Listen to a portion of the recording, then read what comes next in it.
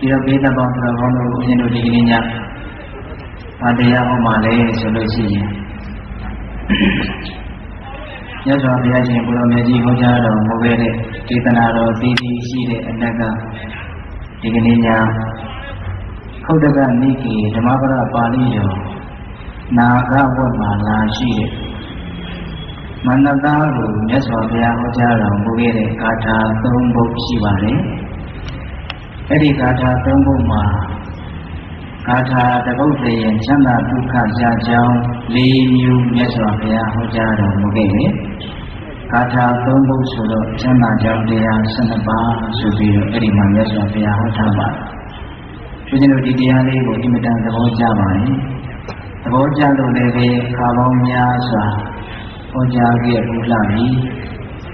12ပါးလုံးဟောလို့ရှိရင်အချိန်ကသိပြီးတော့ မလောက်ဘူးဦးဇင်းတို့ကတရားဟောတာနည်းနည်းလောဘကြီးတော့ပေါ်ပါမပြည့်စုံဒီပါမပြည့်စုံဖြစ်လို့ဒီနေ့ညပိဿပေါင်းတရားကောင်းလုံးကိုဦးဇင်းတို့ပထမဦးဆုံးဂါထာဖြစ်ရသော်တရားညွှန်ကြားတော်မူခဲ့တဲ့ချမ်းသာဒုက္ခ၄မျိုးကိုပဲဒီကနေ့ညလေးပါးချမ်းသာရအောင်ရှာလို့တရားကောင်းစဉ်တက်ပြီးတော့ဟောပါနော်တရားကောင်းစဉ်ကြွကြည့်ပါဦးညာ လေးပါးသောချမ်းသာဘာကြောင့်ဝိညာဉ်တို့ဒီတရားလေးကိုကြိုက်ရလဲဆိုတော့လူငယ်ဒီဘဝကနေလူကြီးဒီဘဝတိုင်အောင်ချမ်းသာဒုက္ခကိုအပေါ်ယံချမ်းသာဒုက္ခကနေနောက်ဆုံးလေးနေတဲ့ချမ်းသာဒုက္ခတိုင်အောင်ဒီမတန်ပြည့်စုံတဲ့ချမ်းသာဒုက္ခ၄မျိုးပြောထားတဲ့အတွက်ကြောင့် ပြည့်စုံတယ်လို့ဦးဇင်းတို့ရဲ့စိတ်ထဲမှာခံစားရတဲ့အတွက်ကြောင့်ဒီတရားလေးကိုဦးဇင်းတို့ဒီမတန်နှိမ့်ချိုက်ပါ၄ပါးချမ်းသာရအောင်ရှာဘဝမှာဘယ်လိုတရားတွေပြည့်စုံမှချမ်းသာမှာလဲဆိုတာလေးနဲ့ပတ်သက်ပြီးတော့ပိဿပေါင်းတော်ကောင်းတို့မြတ်စွာဘုရားရဲ့တရားတော်ဆိုတာပြစ္ဆုတ်ပံစီးပွားတန်တရားစီးပွားပြစ္ဆုတ်ပံချမ်းသာတန်တရားချမ်းသာနိဗ္ဗာန်ချမ်းသာကိုပြီးစွမ်းနိုင်တဲ့ အစွမ်းတတိတို့ရှိတယ်စိတ်ထဲကယုံကြည်ပြီးတော့တရားတော်ကိုတန်ဖိုးထားပြီးတော့ညှဉ်းနှိုးပြီးတော့ကျွေးရွတည်တည်နာယူကြည်ညိုနိုင်ကြပါစေဟုတ်လားဒီတရားကိုမဟောသေးခင်မှာမြတ်စွာဘုရားကိုရှိခိုးပူဇော်ကြောကြအောင်စို့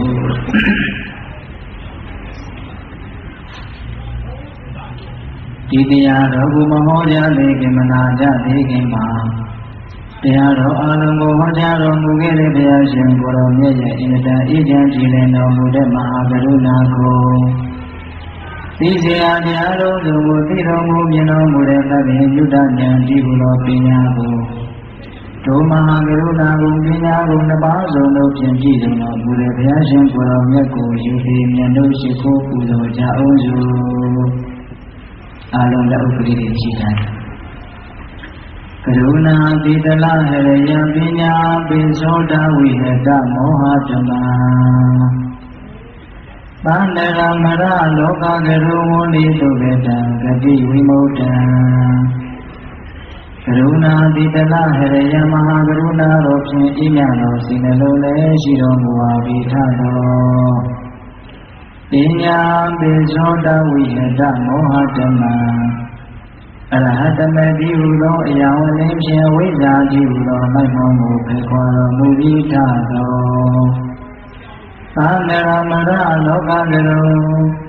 လူနဲ့ပြမတတဝနန္တတို့၏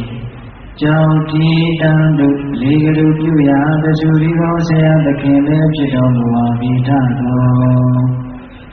ဂတိဝိမု ക്ത ံဒီဝမနုဿံဒီရယနေ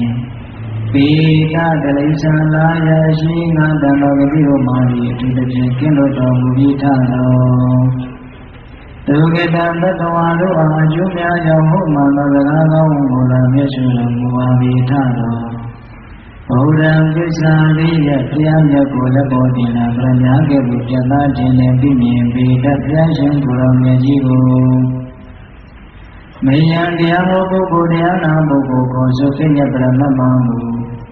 ယုံနာနှပြဖြစ်ကြပါတော်ဘုရားတပည့်တော်တို့သည်ဝဏိဝနာမှာကာယဝေဒီမနောကြည်သုံးဤတော်ရပနာမောဖြင့်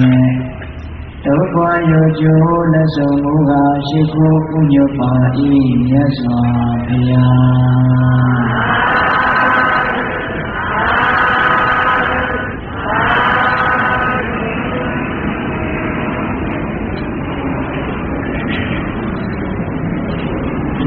ဒီပါချမ်းသာရအောင်ရှာ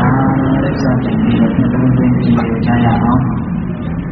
အတ္တပိဇာတံပိဒုက္ခတာယာဒုက္ခိဒုက္ခယာဣတိတရိနာပုံညာဒုက္ခဇီဝိတာတေကယံပိသဗ္ဗနာဒုက္ခတာဒုက္ခံဘာနာအတ္တပိအမှုကိစ္စကြီးငယ်တို့လိဇာတံပိဖြစ်ပေါ်၍လာလတ်သည်ရှိတော် သာယံမိကောင်းဆွေကောင်းရှိမှသာရင်ဒုက္ခံချမ်းသာ၏ဣတရိကရေနယာတတမြသောဥစ္စာပစ္စည်းတို့ဖြင့်ယာတုတိခြင်းရောင်ရဲတင်းတိနိုင်ခြင်းသည်အဋ္ဌိတံတိရှိပါကုန်၏သာတုတိထိုကဲ့သို့ရောင်ရဲတင်းတိနိုင်ခြင်းသည်ဒုက္ခံချမ်းသာလာပါ၏ဇီဝိတသင်္ခယံတိ အသက်ကုန်ကားဤအခါကာလမှာပုံညာကုသိုလ်ကောင်းမှုသည်ဒုက္ခံချမ်းသာလာပါ၏သာဝတာဒုက္ခတာလုံးစုံသောတန်လျာဝိစင်းရဲ့တို့ကိုပါဏံပေရှားလျက်ခြင်းသည်ဒုက္ခချမ်းသာလှပါ၏ဒီဂါထာဖြင့်မြတ်စွာဘုရားချမ်းသာဒုက္ခလေးမျိုးဟောကြားတော်မူခဲ့တယ်အဲ့ဒါကိုလည်းနည်းနည်းလေးပြန်ပြီးတော့နာယူကြည့်မယ် အတံဘီအမှုကိစ္စကြီးငယ်တို့သည်ဇာတံဘီဖြစ်ပေါ်၍လာလတ်ပြီးရှိတော်သဟာယမိတ်ကောင်းဆွေကောင်းရှိမှသာလျှင်ဒုက္ခချမ်းသာ၏အမှုကိစ္စကြီးငယ်တစုံတရာကျုံးလာရင်မိတ်ဆွေကောင်းရှိမှချမ်းသာမယ်ဒါနံပါတ်1ချမ်းသာနော်အမှုကိစ္စကြီးငယ်တစုံတရာကျုံးလာရင်ဘာရှိမှချမ်းသာမယ်မိတ်ဆွေကောင်းရှိမှချမ်းသာဣတရိ တရိနာယသတမြသောဥစ္စာပစ္စည်းတို့ဖြင့်ယာတုတိအကျဉ်းရောင်ရဲတင်းပိနိုင်ခြင်းသည်အဋ္ဌိတန်တိရှိပါကုန်၏သာတုတိဒုက္ခသို့သောရောင်ရဲတင်းပိနိုင်ခြင်းသည်ဒုက္ခချမ်းသာလာပေ၏ဘဝမှာရာဂပြနဲ့ကျင့်နဲ့နိုင်တဲ့ရောင်ရဲနိုင်တဲ့တင်းပိနိုင်တယ်ဆိုလို့ရှိရင်ဒုတိယမြောက်ချမ်းသာကိုရမယ် ဇီဝိတာသင်္ခယံပိအသက်ကုန်ငါးဤအခါကာလမှာပုံညာကုသိုလ်ကောင်းမှုတွေဒုက္ခချမ်းသာ၏လူသားတိုင်းလူသားတိုင်းတတ္တဝါတိုင်းတတ္တဝါတိုင်းမဖြစ်မနေဖြတ်သန်းကြရမယ်ရင်ဆိုင်ကြရမယ်တည်ခြင်းတရားအဲ့ဒီတည်ခြင်းတရားနဲ့ရင်ဆိုင်ရခါနီးမှာကုသိုလ်ကောင်းမှုရှိမှချမ်းသာမယ်ဘယ်နှပါရှိသွားပြီလဲ သုံးပါရှိသွားပြီမှုကိစ္စကြီးငယ်တစုံတရာကျုံးလာရင်မိတ်ဆွေကောင်းရှိမှချမ်းသာမယ်။ရာသမျှနဲ့ရောင်ရဲတင်းနေနိုင်မှချမ်းသာမယ်။ကိုယ်လုံးကဤအခါကာလမှာကုသိုလ်ကောင်းမှုရှိမှချမ်းသာမယ်။နောက်ဆုံးချမ်းသာကဘာပြောလဲဆိုတော့သာမဏေဒုက္ခနာလုံးစုံသောတန်လျာဝဆင်းရဲတို့ကို ပါဏံပေရှားလျက်ခြင်းသည်ဒုက္ခချမ်းသာလာပါ၏တန်လျာဝဆင်းရဲကိုဖေရှားလျက်ခြင်းတန်လျာဝဆင်းရဲရဲ့အပေါ်မှာအဝိဇ္ဇာနှောမှုပြီးတော့အကောင်းလို့မှားမှားရင်းနဲ့ထင်မိလို့ဆွဲလန်းသမောတဲ့တဏှာလောဘကိုအရဟတမေအရဟတဘုံနဲ့အပြီးသက်ပေရှားလိုက်ရခြင်းသည်ချမ်းသာတယ်လို့ဓာတ်ရိုက်အဲ့ဒါလိုအဓိပ္ပာယ်ရတာ အဲ့ဒီလေးခုမြောက်ချမ်းသာကတော့နားလေဖို့အင်မတန်ခက်ခဲတဲ့ချမ်းသာပဲနော်ဒါပေမဲ့ဦးဇင်းတို့ကနောက်ပိုင်းမှာအဲ့ဒီနားလေဖို့ခက်ခဲတဲ့ချမ်းသာကိုပဲတတ်နိုင်နေရရှင်းပြမှာဟုတ်လားဒီကနေ့ပိုင်းများအဲ့တော့ချမ်းသာဒုက္ခဘယ်နှမျိုးရှိသွားပြီလဲ၄မျိုးရှိသွားပြီနံပါတ်1အမှုကိစ္စကြီးငယ်တစုံတရာကျုံးလာရင်မိကောင်းဆွေကောင်းရှိမှချမ်းသာမယ်နံပါတ်2 ရှားသမျှနဲ့ရောင်ရဲတင်းမိနိုင်မှချမ်းသာမယ်နံပါတ်3ကွယ်လွန်ကဤအခါကာလမှာကုသိုလ်ကောင်းမှုရှိမှချမ်းသာမယ်နံပါတ်၄တန်တရားဝရှင်းရေးကိုလုံးဝဖေရှားပြစ်လိုက်ရခြင်းဒီချမ်းသာတယ်တဲ့ဘယ်နှပါလဲ၄ပါးအခြေခံကစပြီးတော့အဆုံးစွန်ထိမြတ်စွာဘုရားဟောထားတာ ဒီချမ်းသာဒုက္ခ၄မျိုးနဲ့ပြည့်စုံအောင်ပိဋကပေါင်းသူတော်ကောင်းတို့ဘဝမှာကြိုးစားကြရမယ်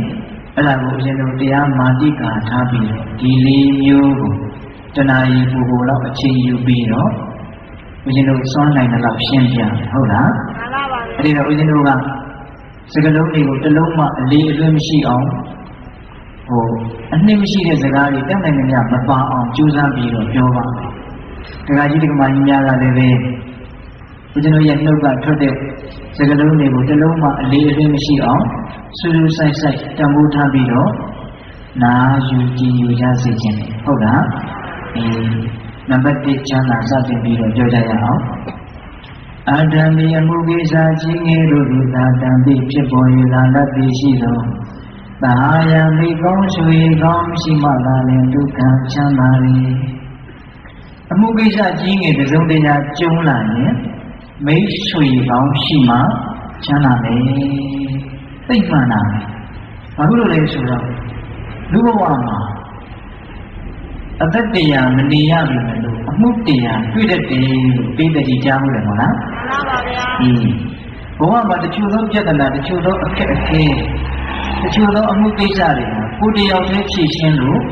မပြေလည်နိုင်ဘူး ကိုမိသားစုတစုတည်းဖြေရှင်းလို့မပြေလည်နိုင်တဲ့ပြဿနာတွေလည်းရှိတာပဲကိုယ့်ရဲ့ကိုယ်တခုတည်းဖြေရှင်းလို့မရဘူးဟောဒီကနေ့ခေတ်ဆိုရင်ကိုယ်နိုင်ငံတစ်နိုင်ငံနဲ့နဲ့တော့ဖြေရှင်းလို့မပြေလည်နိုင်တဲ့ပြဿနာတွေရှိတယ်အဲ့ဒါလိုပြဿနာကြီးငယ်တစုံတရာကျုံလာလို့ရှိရင်မိတ်ဆွေရှိမှချမ်းသာမှာပါတကယ်စင်စစ်ဘဝဆိုတာအင်မတန်ခက်ခဲကြမ်းတမ်းတဲ့ခရီးချင်းတစ်ခုနော်ဘဝဆိုတာအင်မတန်ခက်ခဲကြမ်းတမ်းတဲ့ခရီးချင်းတစ်ခု အဲ့ဒီခရီးချင်းကိုအစဉ်ပြေစွာချုံးမွေစွာရှောက်လန်းကျင်တယ်ဆိုလို့ရှိရင်ကိုတူဦးလေးတယောက်တည်းရှောက်လန်းလို့ဘယ်လိုမှအရှင်မပြေနိုင်ဘူးဒါကိုမြတ်စွာဘုရားကမြင်တော်မူသိတော်မူလို့အခြေခံကြတဲ့နံပါတ်1ချမ်းသာကိုရကျင်တယ်ဆိုလို့ရှိရင်မိတ်ဆွေဆိုတာမရှိလို့မရှိပါဘူးတဲ့မာနာကြီးနဲ့တင်းပြီးတော့ငါတယောက်တည်းဖြစ်ပါလေလို့အဲ့ဒါလိုမတွေးပါနဲ့ဟုတ်လား ဘဝဆိုတာသူ့ရဲ့အခက်အခဲကိုကိုယ်ကဝိုင်းပြီးတော့ဖြေရှင်းမယ်ကိုယ့်ရဲ့အခက်အခဲကိုလည်းသူကလည်းဝိုင်းပြီးတော့ဖြေရှင်းပါစေလို့ဘလို့စီစီလုံးလုံးညီညီညွတ်ညွတ်မေတ္တာတရားနဲ့ပေါင်းစည်းပြီးတော့ဖြတ်သန်းညမှပြေလည်နိုင်တဲ့သဘောရှိဟုတ်ရဲ့လားမှန်ပါဗျာဒါကြောင့်လောကီချမ်းသာကိုပဲဖြစ်စေလောကုတ္တရာချမ်းသာကိုပဲဖြစ်စေရည်ညတဲ့ပုဂ္ဂိုလ်တွေဟာမိတ်ဆွေနဲ့တင်းပြီးတော့ရာရုံးထုံးတာမရှိပါဘူးဟုတ်လားဒါကြောင့်နံပါတ်1ချမ်းသာကိုရကျင်တယ်ဆိုရင် အထူးသဖြင့်လူငယ်တွေဘဝမှာနေရမယ့်အချိန်ကြီးအများကြီးကြံနေတယ်နော်အဲ့ဒီဘဝမှာနေရမယ့်အချိန်ကြီးအများကြီးကြံနေသေးတဲ့လက်ကျန်အချိန်ကြီးမှာအစဉ်ပြေခြင်းနဲ့ချမ်းသာခြင်းနဲ့ဆိုလို့ရှိရင်မိတ်ဆွေမရှိလို့မဖြစ်ပါဘူးဒါကိုဦးဇင်းတို့ကပေါ်လွင်ထင်ရှားအောင်မြတ်စွာဘုရားလက်ထက်ကအဖြစ်အပျက်လေးတစ်ခုကိုပြောပြခြင်းမြတ်စွာဘုရားလက်ထက်ကတာဝတိမြို့မှာ မြို့ကောင်းသားလေးတယောက်ကမြို့သမီးတယောက်ကိုမျက်စိကျတယ်မျက်နှိုးတယ်အဲ့ဒါနဲ့လက်ထက်ဖွင့်သွားပြီးတော့တောင်းတယ်အဲ့ဒါလိုလက်ထက်ဖွင့်တောင်းတော့အဲ့ဒီအမျိုးကောင်းသမီးလေးကဉာဏ်ရှိတယ်ဉာဏ်ကြီးတယ်လက်ထက်ဖွင့်လာတော့လည်းဒီအမျိုးကောင်းသားလေးကိုမင်းပစ္စည်းတွေဘလောက်ပိုင်လဲလို့မမေးဘူးအတိုင်းဝိုင်းတွေဘလောက်ရှိလဲဂုဏ်တွေဘလောက်ရှိလဲပညာတွေဘလောက်တက်လဲလို့အဲ့ဒါလိုမမေးဘူးဘာမေးလဲဆိုတော့မင်းငါ့ကိုလက်ထက်ချင်တာတော့ဟုတ်ပါပြီတဲ့ မင်းမှာမိတ်ဆွေဘယ်နှယောက်ရှိလဲလို့မေးတာအော်စရာတောင်းကောင်းတယ်နော်လက်ထက်ခွင့်တောင်းတဲ့ပုဂ္ဂိုလ်ကိုဘယ်လိုမေးတာလဲ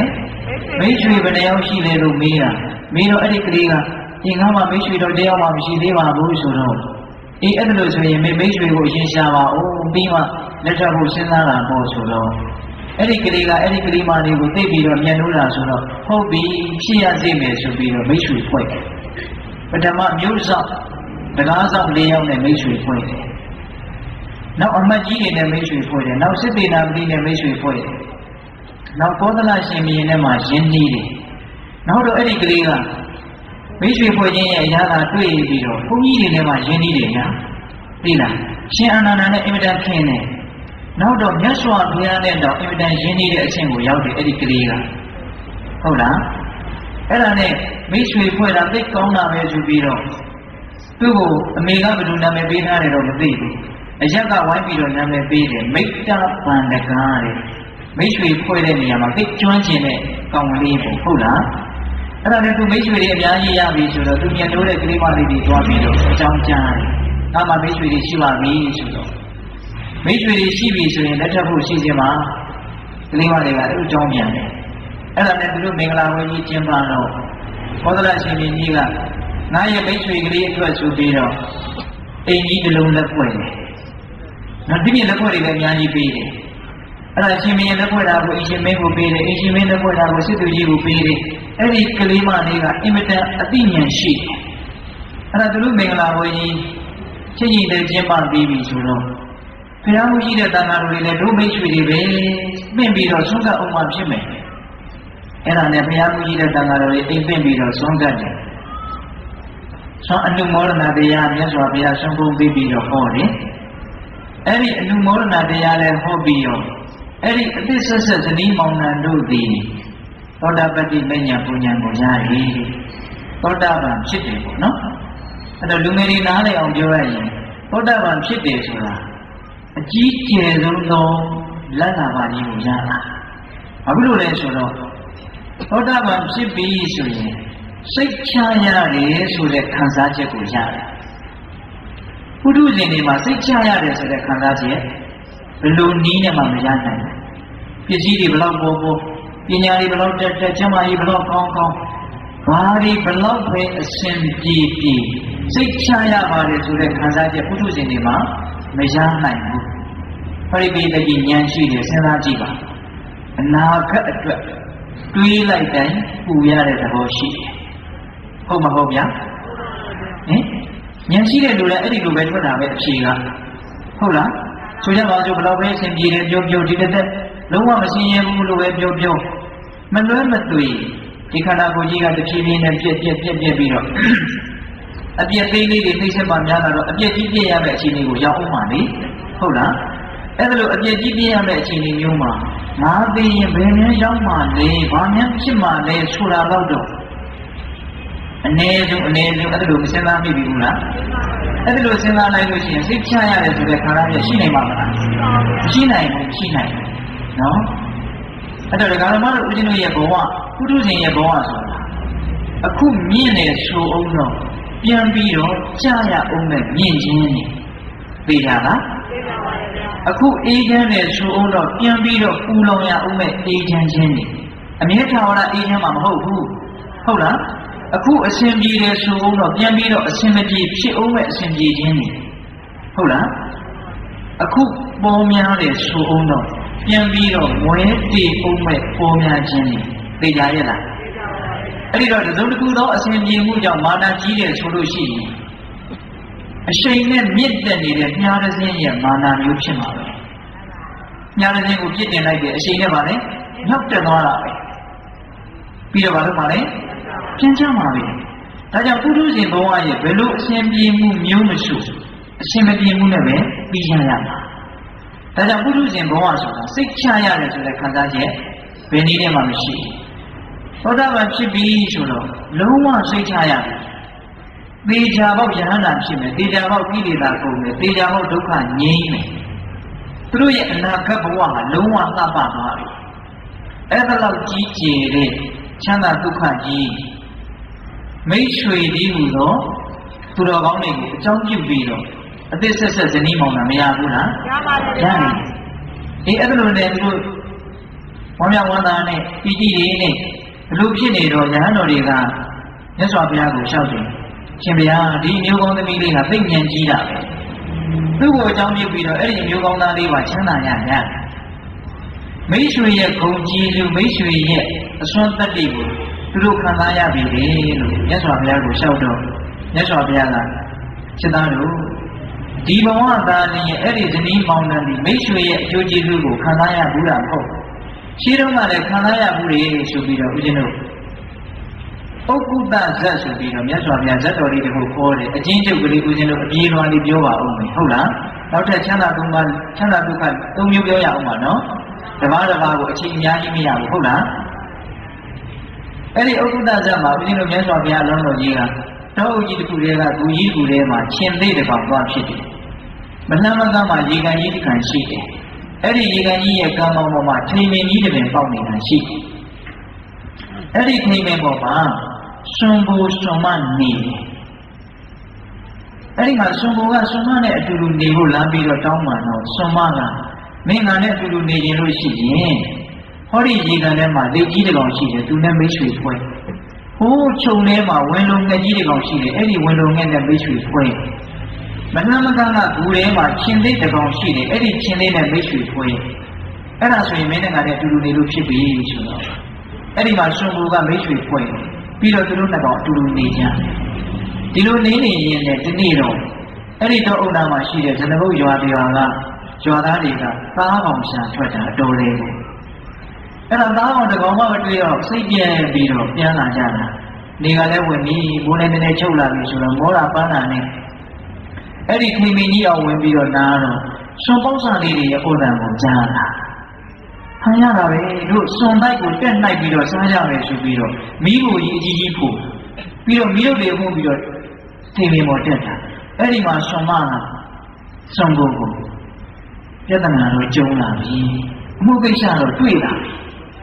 အဲ့ဒီတော့မင်းဝင်လုံမျက်စီကိုသွားပြီးတော့အကြောင်းကြားချင်ဒီနေ့မိတ်ဆွေရဲ့အစွမ်းတတ္တိကိုတို့ခံစားကြတယ်အဲ့ဒါနဲ့ဝင်လုံမျက်စီကိုသွားပြီးတော့အကြောင်းကြားတော့ဝင်လုံငှက်လိုက်လာတယ် လိုက်လာပြီးတော့ငါမိတ်ဆွေတွေကိုဆုံးရှုံးရမှာပေါ့ဆိုပြီးတော့သူ့ရဲ့အတော်မှန်ကိုရေဆွတ်ပြီးတော့ထိမင်မောကိုမိတို့ထွန်တက်တဲ့လူကိုရှိကနေစီးပြီးတော့ရေဆွတ်ထားတဲ့အတော်မှန်နဲ့ရိုက်ချတယ်မိတို့ကိုတခါလေးငိမ့်အောင်ကြိုးစားတာအဲ့ဒီမှာမိတို့ကြီးငိမ့်တော့ပြန်ဆင်းပြန်ပြီးတော့ညှိပြန်တက်စီးပြီးတော့အတော်မှန်နဲ့ရအဲ့ဒါလိုနဲ့ဆင်းကြီးတက်ကြီးနဲ့သကောင်းရန်တတ်တယ်ဝင်လုံငယ်လဲပင်ပန်းအဲ့ဒီတော့ဆုံးမက ဆုံးမှုကိုခိုင်းနေဝင်လုံငက်တော့ပင်ပန်းနေပြီဒါကြောင့်လက်ကိုသွားပြီးတော့အကြောင်းကြားရှိအဲလက်ကိုသွားပြီးတော့အပိပေးအဲ့ဒီမှာလက်ကြီးကသူ့တကူလုံးကိုရှွန့်လေးလူးပြီးတော့ကန်ထဲကနေရွာရွာတက်လာပြီးတော့အဲ့ဒီမီးဘူကြီးကိုအဲ့ဒီသူ့ကိုယ်မှာလူးထားတဲ့ရှွန့်လေးနဲ့တခါတည်းလုံးပြီးတော့မီးဘူကိုအင်းကပ်ဖြစ်အမှောင်ကျသွားအဲ့ဒီမှာရွာသားတွေကဟေ့ဆွန်သားဘာလို့မှလဲကွာလက်သားစားကြမယ်ဆိုပြီးတော့လက်ကြီးကိုဝိုင်းခံကြတာ လက်ကသိတ်ကြီးတာဆိုတော့လိမ့်နဲ့လူနဲ့ယုံရင်ကန်ရင်နဲ့အဲ့ဒါလိုနဲ့ယုံရင်ဆံဖတ်ဖြစ်ရင်းနဲ့အချိန်တွေနဲ့တဖြည်းဖြည်းနဲ့မိုးတော့ရံကိုရှင်းနေလာနောက်တော့လက်ကြီးအရှုံးပေးရအဲ့ဒါလိုဖြစ်နေတော့ရှင်မကထပ်ပြီးတော့စီမံခံွဲတယ်ထိုင်ရမထခိုင်းနေတာနော်ဒကာကြီးများဟုတ်လားထိုင်ရမထခိုင်းနေတာနော်ဘယ်လိုကခိုင်းနေတာလဲရှင်မကခိုင်းနေတာရှင်ဘုကအကုန်သောသောပြီးတော့လုပ်ပေးရတာဟုတ်လား အဲ့ဒါနဲ့ဘာခိုင်းလဲဆိုတော့ရှင်လေးမင်းကြီးသွားပြီးတော့အကြောင်းကြားကြည့်အဲ့ဒါနဲ့ရှင်လေးမင်းကြီးသွားပြီးတော့အကြောင်းကြားတော့ရှင်လေးမင်းကရှင်လေးတို့ရဲ့အတန်နဲ့ဟိန်းဟောက်တော့အဲ့ဒီမှာသနဗုဒ္ဓတွေအလုံးထွက်ပြေးကြတာအဲ့ဒီတုန်းကစွန်ဘိုစွန်မသည်ဒီဘဝမိတ္တဗန္ဒကဇနီးမောင်နှံဖြစ်တယ်ဟုတ်လားအဲ့ဒီတော့ဦးဇင်းတို့လူငယ်တွေကိုပဲဦးစားပေးပြီးတော့ဘဝမှာနံပါတ်1 အခြေခံကျတဲ့ချမ်းသာဒုက္ခရခြင်းနဲ့ဆိုလို့ရှိရင်မိတ်ဆွေမရှိလို့မဖြစ်ပါဘူးဆိုတဲ့အမြင်ကလေးကိုမြင်သိခြင်းသာဟုတ်လားမှန်ပါပါဗျာအဲ့တော့မိတ်ဆွေရှိခြင်းဘယ်လိုလုပ်ရမှာလို့တချို့ဆိုရင်လည်းမိတ်ဆွေကသိပ်ပေါ်တယ်တချို့ကြောင့်လည်းသိပ်အကြီးကျယ်ဆန်တယ်တချို့ကြောင့်လည်းမိတ်ဆွေဆိုတာတော့ရှိတော့ရှိပါရဲ့ဒါပေမဲ့အရေးရဲ့အကြောင်းရရှိရင်အကူအညီမရဘူးမိတ်တုဆွေတို့တွေဖြစ်နေတာဟုတ်ဟုတ်လားအဲ့ဒီတော့တကယ်မိတ်ကောင်းဆွေကောင်းရရင်ဘယ်လိုလုပ်ရမှာလဲ ဘုရင်တို့အတူတူလေးပဲပြောမယ်ဗျာကိုကိုယ်တိုင်ကစေတနာမေတ္တာနဲ့မိတ်ဆွေကောင်းတို့ရဲ့အင်္ဂါရက်တွေတက်နိုင်နေမြညီအောင်နော်ကိုကိုယ်တိုင်ကမိတ်ဆွေကောင်းတယောက်ပြီးသားအောင်စေတနာမေတ္တာဖြူရှင်တဲ့စိတ်နဲ့နော်အဲ့ဒါလိုစိတ်မျိုးနဲ့ပေါင်းသိမ်းမယ်ဆိုလို့ရှိရင်ကို့မှာလည်းပဲအဲ့ဒါလိုကိုနဲ့တူတဲ့မိတ်ဆွေတွေမရနိုင်ဘူးလားနိုင်ပါဘူးနိုင်ပါဘူးလောကကြီးကကိုနဲ့ထိုက်တန်တာပဲရတာနော်အေးကိုကကောင်းတယ်ဆိုရင် ကောင်းတဲ့လူတွေရှိမှာပဲဆိုးတဲ့လူတွေရှိတယ်လို့သူများကမပြောနဲ့အဲ့ဒါရှစ်ဆရာကောင်းတယ်ငါမှမိတ်ဆွေဆွေသူတွေရှိတယ်လို့ပြောရင်ကို့မှာမိတ်ဆွေကောင်းတို့ရဲ့အင်္ဂါနဲ့မညီလို့ကို့ဘဝင်းကျင်ကလူတွေဟာမိတ်ဆွေဆွေသူတွေဖြစ်နေတာလို့ရေဘူးရအဲ့ဒါလို့ဝေဖန်လို့ရတယ်ဟုတ်လားဒါကြောင့်မိကောင်းဆွေကောင်းရရင်ကိုကိုယ်တိုင်ကမိကောင်းဆွေကောင်းဖြစ်အောင်ကြိုးစားတယ်မို့လားကြိုးစားတယ်ဒါကြောင့်ဦးဇင်းတို့နံပါတ်1 ချမ်းသာကိုရကျင်ရတယ်ဆိုလို့ရှိရင်ဘာရှိရမှာလဲမိတ်ဆွေကောင်းရှိရမယ်အရေးအကြောင်းအမှုကိစ္စကြီးငယ်တစုံတရာကျုံးလာရင်မိကောင်းဆွေကောင်းပြီးချမ်းသာတယ်ဆိုတဲ့နံပါတ်1ချမ်းသာကိုပြီးရရအောင်နော်ဒီနံပါတ်1ချမ်းသာဆက်ပြီးတော့သွားကြမယ်ဤတရေတရေနာယတသမြသောဥစ္စာပစ္စည်းတို့ဖြင့် ယာဒုတိအပြင်ရောင်ရဲတင်းတင်းနိုင်ခြင်းသည်အတ္တိတန်တိရှိပါကုန်၏သာဒုတိထိုကဲ့သို့သောရောင်ရဲတင်းတင်းနိုင်ခြင်းသည်ဒုက္ခချမ်းသာလာပေ၏ဘဝမှာရာသမျှနဲ့ရောင်ရဲနိုင်ခြင်းသည်ချမ်းသာတယ်ဒီတော့ဒကာရမတို့ဦးဇင်းတို့နံပါတ်1ချမ်းသာနော်အခြေခံကြတာပြောပြီးပြီနော်အဲ့ဒါလိုနီးနဲ့မိတ်ဆွေတွေနဲ့ဘာတွေနဲ့ကြိုးစားမယ်အားထုတ်မယ် အာအကုန်လုံးလူဘဝမှာလူနဲ့တူအောင်နေမယ်ဆိုပြီးတော့ကြိုးစားကြတာပဲရှားဖွေကြတာပဲရက်တည်ကြတာပဲနော်အေးအဲ့ဒါလိုရှားဖွေရင်းနဲ့ကြိုးစားရင်းနဲ့နေပြီမလို့ကိုရခြင်းတိုင်းရပါသလားမရပါဘူးဗျာကိုရခြင်းဘယ်လောက်ကိုရပါသလားမရဘူးတန်တူတိုင်းနဲ့တော့တခါကြီးမိုင်မြဒီခံစားချက်ရှိလူသားတိုင်းလူသားတိုင်းမှာပြည့်စုံနေဆိုတဲ့ခံစားချက်မရှိပါဘူးဟုတ်လား အမြဲတမ်းမပြည့်စုံဘူးဆိုတဲ့ခံစားချက်လူတိုင်းမှာရှိဟုတ်လားအဲ့ဒါလိုမပြည့်စုံကြတဲ့ပုဂ္ဂိုလ်တွေမှာအေးရတာလေးနဲ့ငါကျင်တတ်ပါတယ်ရောင်ရဲပါတယ်တော်ရောပေါ်ဖြစ်ပါတယ်ဆိုတဲ့ဒီစိတ်ကလေးမရှိလို့မဖြစ်ပါဘူးနော်အဲ့ဒီစိတ်ရှိကိုရှိမှဖြစ်အဲ့ဒါကိုရောင်ရဲတယ်တန်တုတ်တီလို့ခေါ်တာဟုတ်လားအဲ့ဒီရောင်ရဲခြင်းဆိုတဲ့တရားဟာမရှိလို့မဖြစ်ဘူးဘာဖြစ်လို့လဲဆိုတော့ကိုရခြင်းတဲ့လောက်လောကက မရဘူးဘာဖြစ်လို့မရတာလဲဆိုရအောင်လုပ်မထားလို့မရတာရှင်းရှင်းလေးရနော်တခါကြီးမိုင်းမြဘဝမှာရနေတာတွေမှန်တယ်မြကိုနဲ့ထိုက်တန်တာတွေရသိလိုက်ပါလေတော့ညာကိုနဲ့ထိုက်တန်တာရတာဗျတရားတန်ရင်တရားပဲရမှာပဲညာကိုကတရားတန်တဲ့ကံလုပ်ခဲ့တယ်တရားတန်တဲ့လုံလဝရိယတရားတန်တဲ့ဉာဏ်ဟုတ်လားတရားတန်တဲ့ကံဉာဏ်ဝရိယရှိရင်တရားပဲရမှာပေါ့ တရားတန်လောက်ကလေးကံဉာဏ်ဝရိယလှုပ်ထားပြီးတော့တထောင်တန်ရခြင်းနဲ့ဆိုလို့ရှိရင်ကိုးရာဖို့လောဘကြီးရရောက်တယ်ဗျဟုတ်လားလောဘကြီးကအင်မတန်တရားတွေဗျနော်လောဘကြီးကအင်မတန်တရားတွေအပူလည်းမပေးဘူးအလိုလည်းမပေးဘူးတိတိကျကျပဲကိုရနေတာတွေမှန်တယ်မြကိုယုတ်ရောကိုတက်တာရောကိုတိတာရောကိုပိုင်ဆိုင်တာရောကိုဘေးကအရာတွေရောအားလုံးအားလုံးဒီကိုနဲ့ထိုက်တန်တာရတာလား ဟုတ်လားအဲ့ဒါကိုနားလည်ထားတယ်ယုံကြည်ထားတယ်ဆိုရင်မကျေနပ်စရာဘာရှိရှိပါဘူးဗျာအခုလူတွေဟာလေတရားဓာတ်လေးတော့ကန်လုပ်ခဲ့တယ်တရားဓာတ်လေးတော့အစွမ်းအစထုတ်တယ်တရားဓာတ်တော့လုံလဝရိယထုတ်တယ်တစ်ထောင်လောက်ရကြတယ်အဲ့ဒီတော့နေတိုင်းနေတိုင်း900ဘူးလောက်စီစီရင်ရတယ်ဟုတ်လားအဲ့ဒီတော့ရကြင်နေဆိုရင်မကြည်မနှက်ဖြစ်နေုံညံ့တယ် မယောင်ရဲနေုံမျှနဲ့လောဘတွေကြီးနေုံမျှနဲ့ရပါသလားမရပါဘူးဗျာလူချင်းလို့ရတယ်ဆိုရင်လူတိုင်းထားရရှိမှာမဟုတ်ရတယ်ဆိုတာလူချင်းုံမျှနဲ့ရတာမဟုတ်ဘူးရအောင်လုပ်မှရတာဘုရင်တို့ကကြီးပွားရေးတိုးတက်ရေးတွေကိုပိတ်ပင်ပြီးတော့ဟာဘာမှလုပ်မနေတော့နဲ့လို့ပြောတာမဟုတ်ဘူးနော်တချို့ဗုဒ္ဓဘာသာဝင်တွေကတန်တုတ်တိရောင်ရဲတာကိုပြင်းတာနဲ့ရောတတ်တယ်ဗျဟုတ်လားအခုပြင်းခိုင်းတာမဟုတ်ဘူးနော် ကို့မှာရတာနဲ့ရှင်းတတ်ပါရတာဟာကိုယ်နဲ့ထိုက်တယ်လားရဟုတ်ရလားအေးအဲ့ဒါလို့ကို့ရတာနဲ့ရှင်းနဲ့နိုင်မယ်ဆိုလို့ရှိရင်ဘဝမှာတကယ်ချမ်းသာတယ်အခုလူတွေဟာကို့ရတာနဲ့မရှင်းတတ်ကြဘူးဗျဟုတ်လားရခြင်းတရားတွေကလည်းပေါ်မှာပေါ်ဟင်တခါကြီးဒီမှကြီးများဟင်ရခြင်းတရားတွေမပေါ်ဘူးလားပေါ်တယ်ပစ္စည်းတွေကလည်းပေါ်မှာပေါ်အဲ့ဒီတော့လောဘတွေကလည်းကြီးမှကြီးအဲ့ဒီတော့ဘာဖြစ်တုံးဆိုတော့ မောမမောအမြဲတမ်းကြိုးစားနေရဟုတ်ရဲ့လားအေးတကယ်မလိုအပ်တဲ့အရာတွေအတွက်တော့အများကြီးကြိုးစားရတယ်ဟင်မလိုအပ်တဲ့အရာတွေကလည်းများမှများပဲဒါပေမဲ့လောဘကနှိမ့်စားထားတော့မလိုအပ်တာတွေကိုပဲလိုအပ်တယ်လို့ထင်နေတာတကယ်လိုအပ်တာကနည်းနည်းလေးတကယ်မလိုအပ်တာတွေအတွက်လူတွေဟာကြိုးစားရင်းနဲ့အချိန်ကုန်တယ်လူပန်းတယ် တန်ဖိုးရှိတဲ့မြင့်မြတ်တဲ့အလုပ်တွေကိုလုံနိုင်ဖွင့်နေဆုံးရှုံးတယ်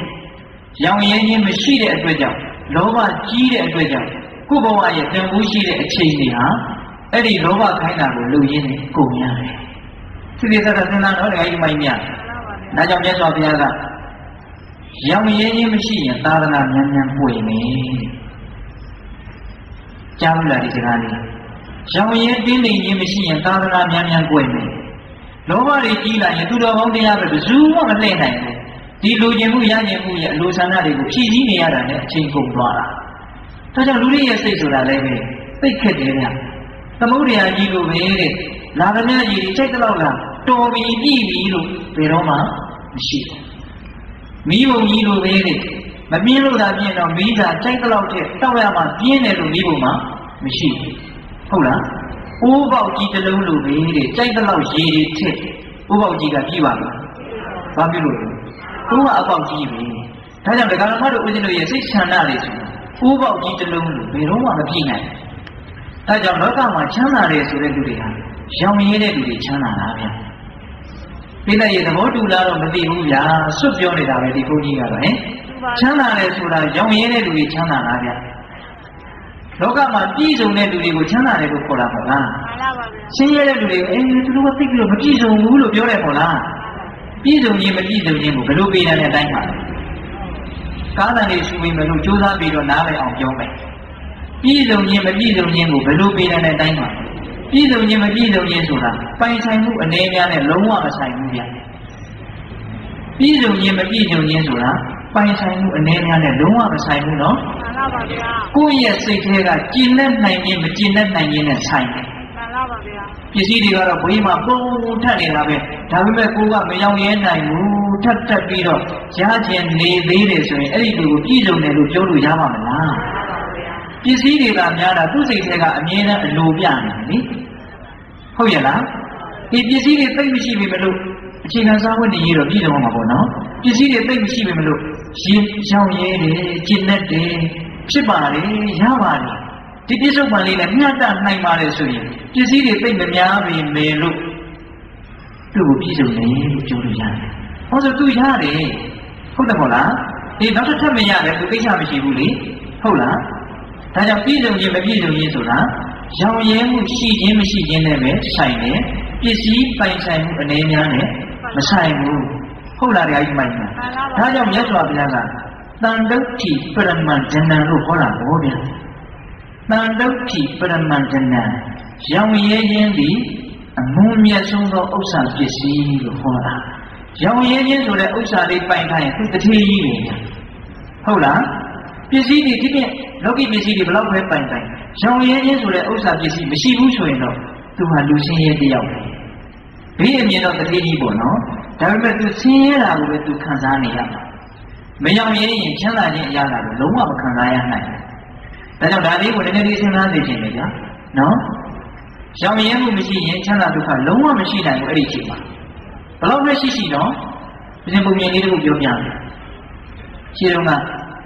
မြင်းနေတဲ့ပုံကူးတဲ့မြင်းကုံတဲ့တစုဥစုပွဲပြီးတော့ပုံကူးရတာအဲ့တော့အဲ့လိုခရီးသွားရင်လည်းဒီနေ့တော့ရေးကြည့်တယ်ဆိုပြီးတော့ လာကလည်းမိုက်မိုက်မှောင်မှောင်မဲမဲတော့ကြီးတစ်ခုကိုဖြတ်ကြတာဖြတ်တော့ချောင်းကလေးလိုအရာလေးဒီလိုဖြတ်တယ်ဘာမှမြင်တာမဟုတ်အဲ့ဒီမှာတောအုပ်တွေကနေနှမ်းပြီးတော့အမိန်ပေးတယ်ဟေးအလုံးရက်ဟာကြောက်တယ်ဘာနဲ့များနှမ်းပြလိုက်မလဲမသိဘူးအဲ့ဒါနဲ့မြင်းမော်မြင်းတွေအကုန်ရက်တော့အဲ့ဒီမြင်းမော်ကအကုန်ရှင်းအကုန်ရှင်းရတယ်ပြီးတော့မင်းတို့ခြေတော်အောင်မှာရှိတဲ့ကြောက်ခဲတွေကိုမင်းတို့မှာပါတဲ့အိတ်သေးကပုံကိုသွန်းပြီးတော့ထည့်လို့ဟာဒုက္ခပဲ ပုံကိုသွန်းပြီးတော့ကြောက်ခဲထည့်ရမယ်အဲ့ဒါနဲ့ကြောက်ကြောက်လန့်လန့်နဲ့အဲ့ဒီမှာအိတ်အိတ်ကိုဆွဲချပြီးတော့အိတ်သေးကပုံပစ္စည်းတွေကိုသွန်းပြီးတော့အဲ့ဒီကြောက်ခဲထည့်ပြီးရင်စီးပြီးတော့အဲ့ဒီမြင်းမော်ကိုအဲ့ဒီကြောက်ခဲအိတ်တင်ပြီးတော့မြန်မြန်သွားကြငါမြင်မြင်ဘူးလို့ပြောတယ်ဟာကြောက်တယ်အဲ့ဒါနဲ့တခါလဲအကုန်လုံးအဲ့ဒီကြောက်ခဲအိတ်ကြီးတင်ပြီးတော့မြင်းတွေတုံးဆိုင်ပြီးတော့စီးအဲ့ဒါနဲ့ရန်သူနဲ့ဝေးအောင်ဆိုအတင်းဆိုင်တယ်မရက်ရည်ဘူး အဲ့ဒါနဲ့အာယုန်လေးချင်းအလင်းရောက်ပြီးမိုးတော့လေးအလင်းရောက်လေးရောင်လေးလေးလည်းလာပြီဆိုတော့မြင်းတွေကိုစီချင်းရန်သူနဲ့လည်းဝေးခဲ့ပါပြီ။အဲမြင်းတွေလည်းလေးလာပါပြီဆိုပြီးတော့အဲ့ဒီကြောက်ခဲအိတ်ကိုအောက်ကျုပ်ချကြောက်ခဲတွေသွန်မယ်ဆိုပြီးတော့မြင်းမောကဆင်းအဲ့ဒီမှာကြောက်ခဲအိတ်ကိုဖြည့်ကြည့်တော့အံ့ဩစရာကောင်းတယ်ကြောက်ခဲတွေမဟုတ်ဖေးနဲ့ကြောက်တံပရမများတွေဖြစ်နေတယ်တဲ့အဲ့ဒါပုံမြင်ပြောတဲ့သူကပြောထားတယ် အဲ့ဒီကုံတွေဟာတယောက်မှဝမ်းမသာပါဘူးတဲ့ကြောက်တံပရမများတွေကိုအိတ်ကြီးနဲ့အပြည့်ရခဲ့တာကဘာလဲတော့ဘာမသာတယောက်မှဝမ်းမသာနိုင်ဘူးတဲ့တယောက်မှစိတ်မချမ်းသာဘူးတဲ့ဘာဖြစ်လို့လဲဆိုတော့ဒီလိုမှန်းသိရင်ကြံတဲ့အိတ်ထဲကကုံတွေပါသွန်ပြီးတော့အိတ်တွေအကုန်လုံးထည့်ခဲ့ပါတယ်လို့စဉ်းစားနေလို့တဲ့ရင်းတကကြီးဒီမှညာတကယ်ဆိုရင်တအိတ်ဆိုရင်တော်တော်ကြီးကိုလုံလောက်တော့ပါပြီဟုတ်လားခံစားပါသို့တော်လည်းပဲအဲ့ဒီတအိတ်ကဟာကိုသူခံစားရလားခံစား မခံစားဘူးမထည့်ခဲ့ရသေးတော့မထည့်ခဲ့ရတော့အိတ်တွေအတွက်ခံစားရတာဒါကြောင့်ဒကာတော်မတို့မှာအဆင်ကြီးနေတာတွေအများကြီးရှိသေးတယ်ကိုယ်မှာရှိနေတာရနေတာတွေကိုခံစားပါဦးမရှိတာမရသေးတာကိုနှံ့မြုပ်ပြီးတော့မောနေမှာဆိုလို့ဟုတ်လားတကယ်မိုင်းညာခံစားပါဗျာအေးလူဆိုတာနော်တခါတလေခက်တော့ခက်တယ်ကိုယ်ကောင်းတာတွေရှိနေတာကိုတတိမထားမိပဲနဲ့ကိုရကျင်တာတွေအတွက်မောပြီးတော့လောနေတာတွေအများကြီးရှိတယ်အဲဥစဉ်မေးမယ်နော် တခါကြီးမိုင်းညာဝါအောင်စားရလားဟောလူကြီးကမပြောဘူးမစားရဘူးနဲ့တူတယ်နင်းဒကမာကြီးတွေဝါအောင်စားရရလား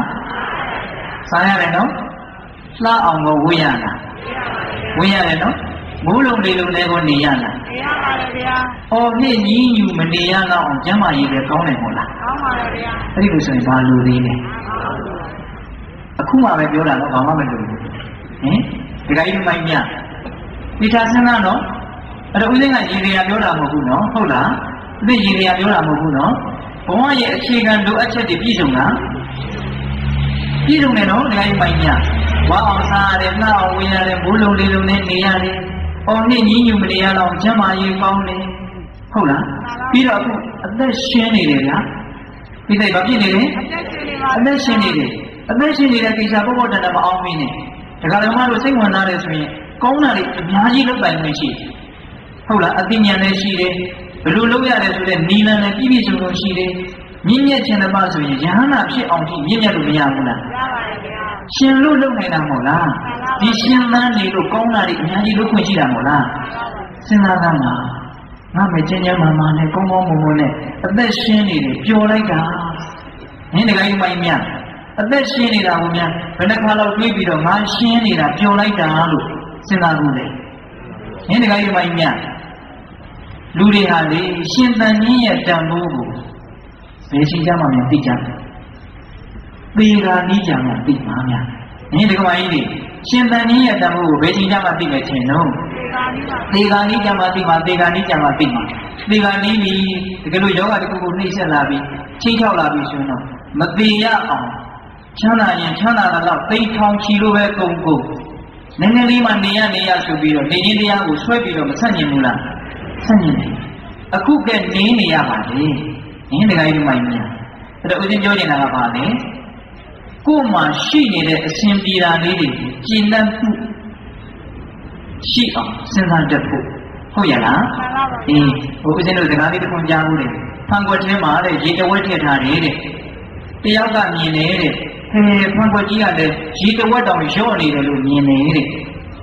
နောက်တစ်ယောက်ကတော့မြင်နေတဲ့ဟဲဖန်ကွက်ကလေးကရေတဝက်ပြည့်နေတယ်လို့မြင်နေတဲ့ပြည့်တဲ့ရေကြိုးစိတ်ချမ်းသာမယ်ရှင်လေတဝက်ပြည့်နေတယ်လို့မြင်တဲ့လူစိတ်ချမ်းသာမှာမဟုတ်ဟုတ်လားဒါကြောင့်ကိုယ်မှာရှိနေတဲ့ရနေတဲ့ကောင်းနေတာတွေကိုကျင့်တတ်နိုင်ဖို့မလိုဘူးလားလိုပါတယ်ဗျာလိုတယ်အဲ့ဒီရောင်ရင်းရင်းသာမရှိရင်ဘဝမှာချမ်းသာခြင်းဆိုတာမရှိနိုင်ဘူးအမြဲတမ်းမောနေမှာပဲ ဟုတ်လားတကယ်ကြီးမှန်လားအေးဒါကြောင့်ဘဝမှာနံပါတ်1ချမ်းသာကိုရခြင်းရင်ရတာနဲ့ရောင်ရင်းတင်းနေနိုင်ဖို့လိုပါလေအခြေခံကြတဲ့ချမ်းသာတွေပြောတာနော်မြတ်စွာဘုရားကဘဝမှာနံပါတ်1ချမ်းသာကိုရခြင်းရင်မိတ်ဆွေရှိရမယ်ဟုတ်ရဲ့လားအေးမိတ်ဆွေပေါင်းသင်းနေနဲ့ဒီလိုပဲလူလောကကြီးကိုဖြတ်တန်းပြီးတော့နေရင်းနဲ့ ရောင်ရင်းမှုဆိုတာလည်းမရှိရင်ချမ်းသာမှာမဟုတ်တဲ့အတွက်ကြောင့်ရောင်ရင်းရမယ်ဘယ်နှပါးရှိသွားပြီလဲနှစ်ပါးရှိသွားပြီဘဝမှာမိတ်ဆွေရှိရုံရောင်ရင်းနေရုံမျှနေတယ်တကယ်ပြည်လေဒီလားဆိုတာကိုဆက်ပြီးတော့စဉ်းစားကြရအောင်ဟုတ်လားဒီအဲ့ဒါနံပါတ်3ချမ်းသာကိုဦးဇင်းတို့ပြောဖို့ဤတန်းခင်းလိုက်တာဟုတ်လားနံပါတ်3ချမ်းသာဆက်ပြီးတော့ပြောကြမယ်နော်ဘုံယံဒုက္ခံဇီဝိတသင်္ခယံပိ ဇီဝိတသင်္ခယံပိအသက်ကုန်ပါဤအခါကာလမှာဘပုံညာကုသိုလ်ကောင်းမှုသည်ဒုက္ခံချမ်းသာတယ်ကိုယ်လိုအနိစ္စရောက်ခါဤအခါကာလမှာကုသိုလ်ကောင်းမှုသည်ချမ်းသာတယ်ခုနတုန်းကနေတဲ့အခါမှာပဲချမ်းသာဖို့အတူတူကလေးပြောထားတာသိလားမိတ်ဆွေရှိရမယ်ရောင်ရင်းရမယ်ကိုင်းနေခြင်းတရားကိုဖြတ်သန်းပြီးတော့သိခြင်းတရားကိုတရားဓမ္မတို့ဦးဇင်းတို့တွေ ရင်ဆိုင်ရအောင်မဟုတ်လားအေးအဲ့ဒါလို့မဖြစ်မနေလူသားတိုင်းရင်ဆိုင်ကြရမယ်ဒီသိခြင်းတရားမြတ်စွာဘုရားတရားဟောတာအကွက်ရှိတယ်နော်တောင်းရှိတယ်နော်အေးအဲ့လိုသိခြင်းတရားနဲ့ရင်ဆိုင်ရတော့မယ်ဆိုတဲ့အခါမျိုးမှာဘာရှိမှချမ်းသာပါလဲကုသိုလ်ကောင်းမှုရှိမှချမ်းသာမယ်မြတ်စွာဘုရားစွန့်အောင်ပြောတာနော်တခါကြီးမိုင်ညာဘဝဆိုတာ နေရေးလေးပြည်လေရုံမျှနေပြည်လေပြီလို့ပြောလို့ရပါမလားရပါဗျာမရဘာဖြစ်လို့လဲဆိုတော့ဘဝဆိုတာနေရေးတစ်ခုလေးနဲ့တိဆောက်ထားတာမဟုတ်ဘဝဆိုတာသေရေးနဲ့နေရေးရောပြီးတော့တိဆောက်တာပါသေရေးဆိုတာကိုဖယ်ပြစ်ချင်လို့ရပါမလားရပါဗျာသေရေးဆိုတာကိုဖယ်ပြစ်ချင်လို့မရဆိုကြပါစို့လူရင်းလူလေးနဲ့ပဲတွေးကြည့်တာမှာလူတွေအကုန်လုံးမသေးကြဘူးဆိုရင်နောက်လူတွေဘယ်နှနေကြလဲ နင်းတကယ်ကြီးမိုင်းမြတ်ဒါကြောင့်ဒီသေခြင်းတရားဆိုတာတဘာဝတရားကြီးကဦးရင်းကလေးလေးနဲ့စဉ်းစားသိနေတာနော်မွေးခြင်းဆိုတာရှိရင်သေခြင်းဆိုတာလုံးဝရှိနေတယ်သေချာပေါက်ရှိနေကောင်းကင်ပြလိုက်တဲ့မြစ်ခဲဟာမြစ်ကြီးပေါ်ကိုပြန်ပြီးတော့သေချာပေါက်ကျမယ်သေချာပေါက်သေကြရတယ်အဲ့ဒါလို့သေခြင်းတရားကိုသေချာပေါက်တရားဓမ္မတို့ကုသင်းတို့တွေဖြတ်သန်းညရမယ်အခါကာလမျိုးမှာကုသိုလ်ကောင်းမှုသည်တစ်ခုကြီးတော့ချမ်းသာတယ်။ မပြုလို့လည်းရရှိတော့သေဘောက်သေဝရောက်ပြီဆိုတော့ကိုယ်တသက်လုံးတန်ဖိုးထားခဲ့တဲ့အရာတွေဟာဘာတန်ဖိုးမှမရှိတော့ဘူး။အဲ့ဒီအချိန်မှာပစ္စည်းဥစ္စာလည်းပဲဒီကနေ့လူတယောက်တို့ကတော့ပစ္စည်းဥစ္စာလည်းတန်ဖိုးမရှိတော့ပါဘူး။မြင်းတကယ်ကြီးမှန်မြတ်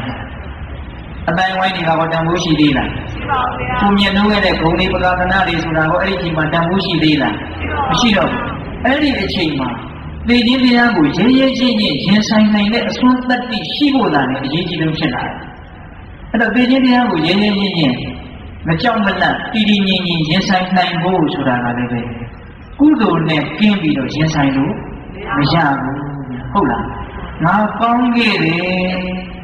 အဲ့ဒါလေးကိုလက်ဆုပ်လက်ကင်ပြုတ်ပြီးတော့အားပြုတ်ပြီးတော့သိခြင်းတရားကိုရင်ဆိုင်ရမှာဗျာဟုတ်လားကောင်းခဲ့တဲ့လူတစ်ယောက်တည်တာလေ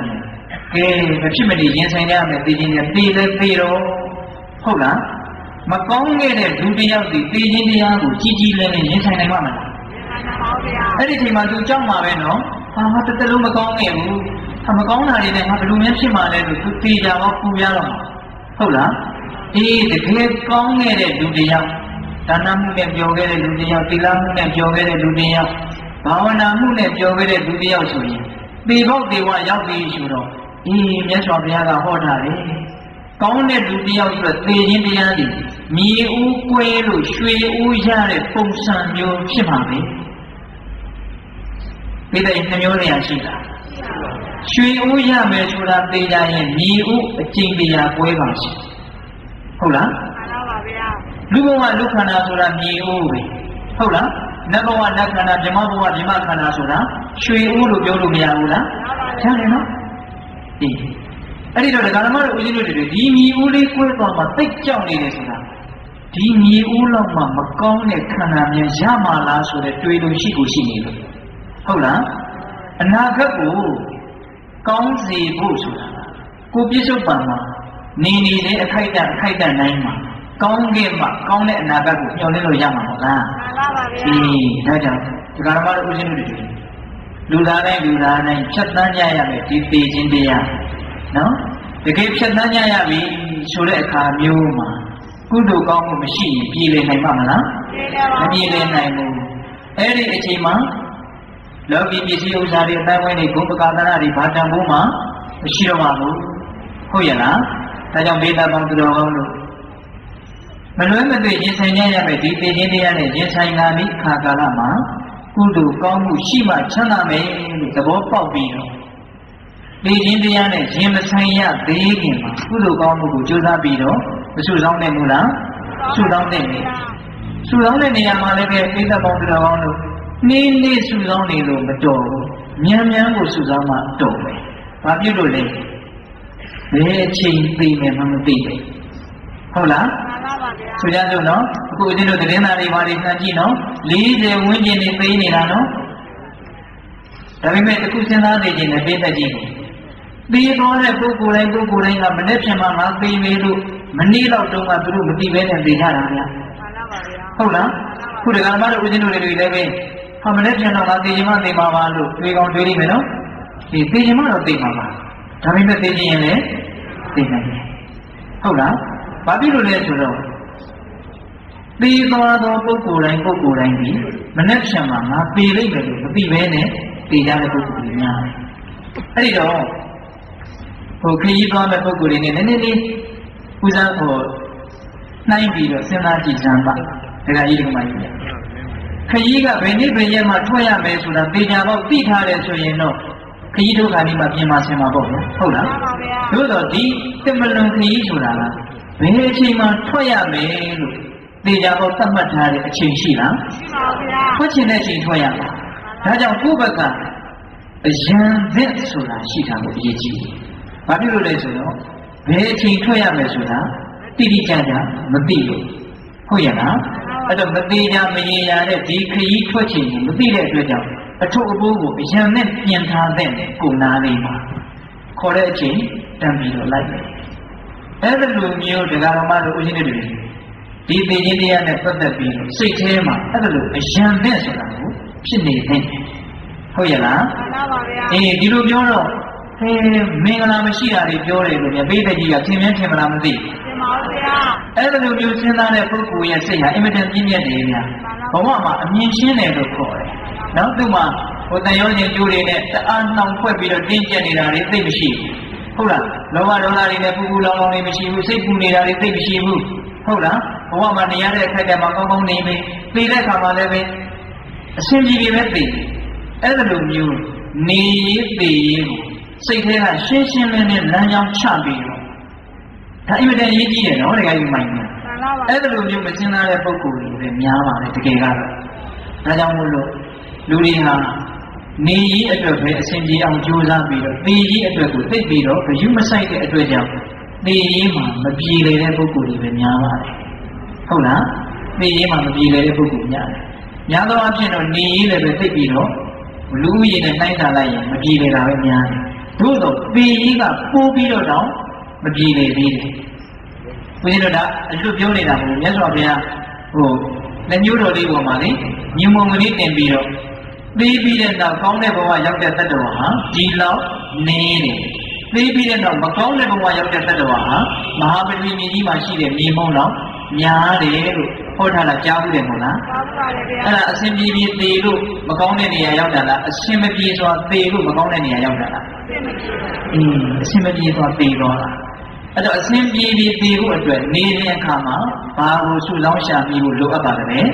ကုသိုလ်ကောင်းမှုကိုရှာဖွေဖို့လိုအပ်တယ် ကုသိုလ်ကောင်းမှုကိုရှာဖွေတဲ့နေရာမှာလည်းပဲမြန်မြန်နဲ့များများရှာဖို့လိုအပ်တယ်ဘာဖြစ်လို့လဲဆိုတော့ဘယ်အချိန်ထွက်ရမယ်မှမသိတဲ့ဒီခရီးအတွက်ကိုယ့်ဘက်ကတတ်နိုင်မမျှတော့အရန်နဲ့ဖြစ်ဖို့လိုအပ်တယ်လို့ပိဋကကောင်းသူတော်ကောင်းတို့စဉ်းစားကြသိခြင်းနဲ့ဟုတ်လားမှန်ပါပါအဗျာင်းဒါကြောင့်လေးလေးနက်နက်နေရည်လည်းတကယ်ရှိတဲ့အတွက်ကြောင့်ရှားပါဖွေပါဟုတ်လားတကယ်မိုင်ညာနေကြရအောင်ပါပါနော်အေးအဲ့လိုပဲ သေရည်လည်းပဲတကယ်ရှိတဲ့အတွက်ကြောင့်သေရည်အတွက်လည်းပဲနေရည်အတွက်ကြိုးစားရင်းနဲ့သေရည်အတွက်လည်းပဲပူးတွဲပြီးတော့မကြိုးစားသင့်ဘူးလားကြိုးစားသင့်တယ်ဘဝကိုညံ့ညံ့တတမြင်တတ်ဖို့အင်မတန်အရေးကြီးတယ်နော်မှန်ပါပါအေးနေရေးတစ်ခုတည်းစဉ်းစားပြီးတော့ဘဝကိုတစ်ဖက်ဆောင်နဲ့နေသွားမယ်ဆိုရင်သေချာတော့အဲ့ဒီလူတဘာဝမကြတဲ့အတွက်ကြောင့်တဘာဝမကြစွာပဲဖြစ်သွားလိမ့်မယ်ဟုတ်ရဲ့လားအေးဒါကြောင့်ဘဝမှာ တတိယမြောက်ချမ်းသာကိုရကျင်တယ်ဆိုရင်ဘာရှိဖို့လိုအပ်တယ်ကုသိုလ်ကောင်းမှုရှိဖို့လိုအပ်ပါတယ်ဘယ်နှမျိုးရှိသွားပြီလဲသုံးမျိုးရှိသွားပြီနော်အမှုကိစ္စကြီးငယ်တစ်စုံတရာကျုံးလာရင်မိကောင်းဆွေကောင်းရှိမှရှမ်းသာမယ်ဟုတ်လားရတတမြသောဥစ္စာပစ္စည်းတို့ဖြင့်ရောင်ရဲတင်းနေနိုင်မှရှမ်းသာမယ်ဟုတ်လား အေးအဲ့လိုမျိုးမိတ်ဆွေတွေနဲ့ရောင်ရဲတင်နေမှုနဲ့ဘဝကိုကြည်ကြည်နက်နက်ကြီးကုသိုလ်တွေနဲ့နေသွားတယ်ဆိုရင်ပေကနီးမှလည်းပဲကုသိုလ်ကောင်းမှုရှိတဲ့အတွက်ကြောင့်ချမ်းသာပါလိမ့်မယ်ဟုတ်ရဲ့လားအေးနောက်ဆုံးနဲ့ဦးဇင်းတို့အရေးအကြီးဆုံးချမ်းသာကိုဆက်ပြီးတော့ပြောကြမယ်ဟုတ်လားသဗ္ဗနာဒုက္ခသာလုံးစုံသောတန်လျာဝဆင်းရဲတို့ကိုမဟာနံပေရှားလိုက်ရခြင်းသည်ဒုက္ခချမ်းသာ၏ တန်လျာဝဆင်းရဲကိုလုံးဝဖေရှားပြစ်လိုက်ရခြင်းသည်ချမ်းသာ၏ဟုတ်လားခုနကမှမိကောင်းဆွေကောင်းနေနဲ့ရောင်ရဲမှုတွေနဲ့ကုသိုလ်ကောင်းမှုတွေနဲ့ဘဝတန်တရားမှာနေနေမှာလဲချမ်းသာအောင်သိနေမှာလဲချမ်းသာအောင်ကြိုးစားကြတာနော်အေးအခုမိမိတို့ရဲ့ဉာဏ်အမြင်ကိုနည်းနည်းပြင့်ပြီးတော့ကြည့်ကြည့်မယ်ဟုတ်လားဘဝဆိုတာဖြစ်လာလို့ရှိရင်သိခြင်းနဲ့ပဲပြီးကြရတာ သိကြရလားတခါကြီးမိုက်မြတ်သိကြပါရဲ့ဗျာအေးဘဝဆိုတာမွေးလာရင်သိခြင်းနဲ့ပဲပြီးကြရတာအစဉ်ပြေပြေဖြစ်အစဉ်ပြေပြေဖြစ်စေအစဉ်မပြေပြေဖြစ်စေကိုယ်ကံကပေးတဲ့ရုပ်ရည်ကိုယ်ကံကပေးတဲ့အတိုင်းဝိုင်းဘုံပကမနာတက်ထားတာပိုင်ဆိုင်ထားတာဒါအမျိုးမျိုးရှိမှာပေါ့နော်တခါကြီးမိုက်မြတ်ဘယ်လောက်ပဲအမျိုးအစားတွေကိုယ်ပြားကိုယ်ပြားပြီးတော့ဗာဖြစ်ကြရတာလေပြီးကြရတာကြီးပဲပြီးတဲ့ပြီးသွားတာကြီးပဲမပြီးရင်လို့မရဘူးနော်ပြီးကြရတာကြီးပဲနော် အေးအဲ့ဒီတော့ဘဝဆိုတာဝေလာတယ်သိသွားတယ်ဝေလာတယ်သိသွားတယ်အဲ့ဒါလေးကိုဉာဏ်ကလေးနဲ့နည်းနည်းတော့အချိန်ယူပြီးတော့စဉ်းစားကြည့်ကောင်းလို့လည်းပဲတည်တတ်နေတာမဟုတ်ဆိုးလို့လည်းပဲတည်တတ်နေတာမဟုတ်ဒါဘဝတစ်ခုလုံးကြီးရဲ့အဖြစ်ကိုပြောတာနော်အခုနေနေတဲ့ဒီဘဝတစ်ခုလေးထဲမှာဟောနည်းနည်းလေးစဉ်းစားကြည့်ပြီးသွားတာကြည့်ဘဝဆိုတာ ပြီးရင်ပြီးရတဲ့အတွက်ကြောင့်ဘာတန်ဖိုးမှမရှိဘူးပိဋကတရားကနည်းနည်းလေးလေးနဲ့လာပြီနော်ဘဝဆိုတာပြီးရင်ပြီးရတဲ့အတွက်ကြောင့်ဘာတန်ဖိုးမှမရှိဘူးဒါကြောင့်မြတ်စွာဘုရားဘဝဆိုတာသုံညဘဝဆိုတာဘာလဲတော့သုံးရပါဗျာသုံညမှာဘာတန်ဖိုးရှိအမနာဘာတန်ဖိုးမှမရှိဘူးဒါပေမဲ့ဒကာမတို့ဦးဇင်းတို့ကုထုရှင်တွေက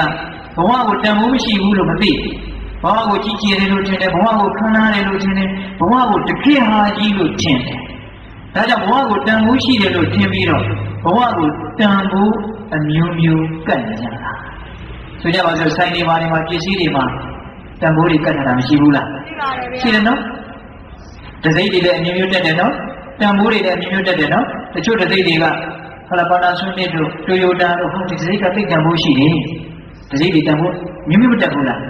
တက်တယ်နော်ဈေးနှုန်းတွေရောမျိုးမျိုးမတက်ဘူးလားအေးပုထုဇဉ်တွေလည်းပဲကိုယ်ဘဝကိုယ်ခန္ဓာကိုယ်ရရှိထားတဲ့ကာမဂုဏ်တွေတန်ဖိုးအမျိုးမျိုးသတ်မှတ်တာလားတကယ်ကတော့ကာမဆိုတာဘဝဆိုတာဘာတန်ဖိုးမှမရှိတာဒါပေမဲ့ဒါကိုတန်ဖိုးရှိတယ်လို့ထင်ပြီးတော့တန်ဖိုးတွေဈေးနှုန်းတွေအမျိုးမျိုးမလုပ်တာတော့ကတ်ထားတာတယောက်နဲ့တယောက်ကတ်တဲ့တန်ဖိုးချင်းကတော့မတူဘူးဗျဟုတ်လား ဒါကတော့ဉာဏ်အကြီးသေးပေါ်မူတည်တာပေါ့နော်တချို့ကတော့ဘလောက်ထိတန်တယ်လို့ထင်လို့ဆိုရင်ကိုယ့်ရဲ့အသက်နဲ့တောင်ထပ်ပြီးတော့ဈေးနှုန်းကိုကတ်ထားတာရှိတယ်သဘောပေါက်လားဒီကောင်ကြီးတွေသဘောပေါက်ပေါက်လားအဲ့ဒါဒါမရရင်တော့ငါကတော့သိမှာပဲအဲ့ဒါကအဲ့ဒီပစ္စည်းကိုဘာနဲ့သူကဈေးနှုန်းကိုတတ်တာလို့သူ့အသက်နဲ့ထပ်ပြီးတော့ဈေးနှုန်းသတ်မှတ်ထားတာနော်မှန်ပါပါဗျာဟုတ်ရဲ့လားဒီတချို့ကြတော့ဟာတအားကိုတန်တယ်လို့ဆိုပြီးတော့မျက်ရည်ကြီးငယ်ကြာရတော့အောင်ဈေးနှုန်းတွေ သတ်မှတ်ထားတာရှိတယ်အဲ့တော့ဆိုလိုတာကဘဝဆိုတာပြီးရင်ပြီးရတဲ့အတွက်ကြောင့်ဘာတန်ဖိုးမှမရှိဘူးတုံညသဘောဟုတ်လားတကယ်တမ်းပြီးသွားတာရှိတယ်ခုကချင်းပြောခဲ့တဲ့အတန်လေးဒေသပေါင်းသူတော်ကောင်းတို့ကြားပြီးတော့တွေးပြီးတော့ဟုတ်တယ်လို့ဝေဖန်တဲ့စိတ်ကူးတွေခုပါရှိသေးတယ်ဘာမှမရှိတော့ဘူးအကုန်လုံးပြီးသွားတာနောင်မှဖြစ်မှာတွေလည်းပဲဒီပုံစံတဲ့အကုန်ပြီးအောင်ပါ ဘာကြီးဖြစ်အောင်ပါလဲလို့မမျှော်လင့်နဲ့ဘာကြီးမှမဖြစ်ဘူးဒီပုံစံလေးတွေပဲဖြစ်မှာဘဝဆိုတာဘာမှမခံတာဘူးဘာမှမကြည့်ကြဘူးဘာတန်ဖို့မှမရှိဘူးမြင်တာတွေရှိမယ်ကြားတာတွေရှိမယ်အခုမြင်နေရတယ်ဒီပုံစံမျိုးတွေအကြောင်းတွေကိုမြင်ရမှာပဲအခုအတန်တွေကြားနေရတယ်ဒီပုံစံမျိုးတွေအတန်တွေကြားရမှာပဲဟုတ်လားစားတာတွေရှိမယ်နားတာတွေရှိမယ်ထိတာတွေရှိမယ်စိတ်ကူးစဉ်းစားတာတွေရှိမယ်ဘဝဆိုတာဒါတွေနဲ့ပုံပေါ်ထားတာတကယ်တမ်းဘဝကိုချုပ်လိုက်လို့ရှိရင် မြင်တာကြားတာနားတာစားတာထိတာသိတာဒီ၆မျိုးကလို့လို့ပါရှိတယ်အာမဘာမှမရှိဘူးအဲ့ဒီ6မျိုးသောအရာတွေဟာလည်းပဲဖြစ်ပေါ်လာတယ်ချုပ်ရောက်သွားတယ်ဖြစ်ပေါ်လာတယ်ချုပ်ပြောက်သွားတယ်ဒီပုံစံအတိုင်းသွားနေတာရိုးရိုးလေးနော်ဘဝရိုးရိုးလေးနော်ဒီပုံစံလေးတိုင်းသွားနေတာဒီရိုးရိုးလေးဘဝကိုသဘောမပေါက်တော့စိတ်တွေကသိဆန်းကျင်လာတာနော် ကိုယ့်ရဲ့တင်ညာကနှိမ့်သားလာဒါတွေကိုသိတန်ဖို့ရှိတယ်တန်ဖို့ရှိတယ်အဟုတ်အဟုတ်အဟုတ်လို့ထင်တာထင်တော့တန်ဖို့ရှိတယ်ထင်တော့တအားကြီးရချင်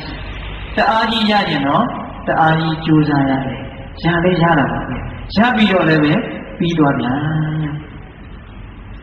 တကယ်တမ်းဉာဏ်ရှိမယ်ဆိုရင်ဘဝကသိညီငွေစရာကောင်းတယ်လို့ဒကာရမတို့ဦးဇင်းတို့ရဲ့စိတ်ထဲမှာထင်ဖို့ကောင်းတယ်ဒါကြောင့်မြတ်စွာဘုရားကတော့ဟောတယ်နော် ဟိုဦးဇင်းတို့ဝေပုံလပပဒတုတ်တန်းဆိုတာတွေရှိတယ်နော်ဒီတတ္တဝါတွေအကုန်လုံးပျောက်သွားမယ်ဒီကဘာကြီးလည်းပြည့်စည်သွားမယ်နောက်ထပ်အကြောင်းအလျော်ဆိုနောက်ထပ်ဖြစ်လာပြန်တယ်ဒီလိုဖြစ်ပြီးတော့ပြည့်စည်သွားတာကြီးပဲဒါကြောင့်မြတ်စွာဘုရားကဘဝကိုညီးငွေဖို့သင့်တယ်ထက်ကြီးတဲ့နဲ့ဟောတယ်နော်ဘဝကိုဘာလို့ဖို့သင့်တယ်ညီးငွေဖို့သင့်တယ်ဒါကအရိယာသူ တို့ရဲ့အမြင်ကဘဝကိုဒုက္ခလို့မြင်တာဘူးဗျာဟုတ်လားတဘဝနေရရင်တဘဝဆင်းရဲတစ်နှစ်နေရရင်တစ်နှစ်ဆင်းရဲတစ်လနေရရင်တစ်လဆင်းရဲတစ်ရက်နေရရင်တစ်ရက်ဆင်းရဲတစ်ခဏနေရရင်တစ်ခဏဆင်းရဲဒါကြောင့်မြတ်စွာဘုရားလည်းဟောတယ်လေမစင်ကျင်ကြီးသည်အနှဲငယ်မြပင်ဖြစ်စေကမူမကောင်းသောအနတ်ရှိတဲ့ကဲ့သို့ဘဝဆိုရင်လက်ဖြစ်တဲ့အတွက်ဒီအချိန်မြလောက်တော့လေငါဘုရား ချီးမွမ်းတော်မမူသင်္ကုတ်တို့ပါဠိတော်မှာဟောထားတယ်ဟုတ်လားမှန်ပါပါဗျာအဲ့တော့ဒကာဓမ္မတို့ဦးဇင်းတို့ရဲ့အမြင်ကတော့စိတ်တိုင်းကြလေးဖြစ်လာရင်ချမ်းသာမယ်လို့ထင်ထားတာဟုတ်လားအဲ့ဒီတော့ဘဝကြီးချုပ်သွားမှချမ်းသာမယ်ဆိုတဲ့စကားကိုတကယ့်ကိုစိတ်ထဲကဘဝင်နှစ်ချိုက်ပြီးတော့သဘောကျပြီးတော့လက်ခံဖို့ဆိုတာလွယ်ပါမလားမလွယ်ဘူးဒါကြောင့်ဒီစရုထမြောက်ချမ်းသာကိုပြောရတာအမြဲတမ်းခက်တယ်လို့ဦးဇင်းကပြောခဲ့တာဟုတ်လားအေး ဒါကြောင့်ဘဝချုပ်မှချမ်းသာမယ်ဆိုတဲ့ချမ်းသာကိုနားလည်ခြင်းလို့ရှိတယ်ကိုယ်ဘဝဟာဒုက္ခပါလို့နားလည်အောင်ကြိုးစားဒုက္ခကိုတစ်ချက်သားနားလည်ရင်ဒုက္ခချုပ်မှချမ်းသာမယ်ဆိုတဲ့ဒုက္ခကိုတစ်ချက်သားနားလည်ဆိုလိုတာကနိဗ္ဗာန်ချမ်းသာကိုသဘောပေါက်ခြင်းရဲ့ခန္ဓာဒုက္ခကိုများများမြင်အောင်ကြည်လို့ပြောတာဟုတ်ရဲ့လားအေးအဲ့တော့အရိယာတို့ရဲ့အမြင်ဒုက္ခကိုမြင်ပုံနဲ့ပုထုဇဉ်တို့ရဲ့ဒုက္ခကိုမြင်ပုံကတော့ဘယ်တူမှလဲဗျာ ဦးဇင်းတို့ဥပမာလေးပြောမယ်နော်ဒီလက်ဘဝပေါ်မှာစပင်မွေးတပင်ပြင်းနေတယ်ဆိုရင်အခါရခက်တဲ့သဘောရှိပါမလားမရှိဘူးအဲ့ဒီစပင်မွေးကပဲမျက်လုံးထဲကိုဝင်နေဆိုရင်အခါရခက်တဲ့သဘောရှိပြီလားရှိပါပါရှိပြီမျက်ရည်တွေပါလေတော့ကြာလာပြီဟုတ်လားဒီစပင်မွေးဒီစပင်မွေးပဲဒီလက်ဘဝကတော့အခါရမခက်ဘူးတပင်မကလို့တစ်ထွေးလုံးတင်နေလည်းပဲဘယ်နဲ့မှမနေဘူးဒီမျက်လုံးကတော့အ ခါရခက်တယ်အဲ့ဒါလိုပဲဥထုရှင်တွေဆိုတာဉာဏ်အမြင်ကသိကြမ်းတမ်းတဲ့အတွက်ကြောင့်သိပြီးတော့နှုတ်နေတဲ့အတွက်ကြောင့်လက်ဘဝတပွဲစပယ်မွေးတပင်တင်းနေတော့အခါရမခက်တယ်လို့မျိုးတော့ဘဝကိုရှင်းရင်လို့နားမလည်ဘူးသဘောမပေါက်ဟုတ်လားအရိယာသူတော်ကောင်းကြီးတွေကြတော့မျက်လုံးတစ်ခွက်ဉာဏ်ကသိပြီးတော့စူးရှနဲ့နဲ့ကြည်လင်တဲ့အတွက်ကြောင့်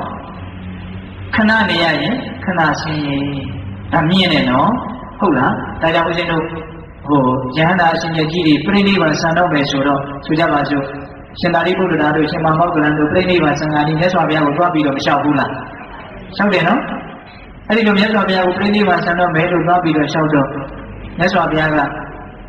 ရှင်သာရိပုတ္တရာပြိဋိဘံဆံတော့လို့ပြောသလားမပြောဘူးပြောလို့ရှိရင်သိချင်းတရားကိုချီးမွမ်းရရောက်မှာဆိုလို့ဟုတ်လား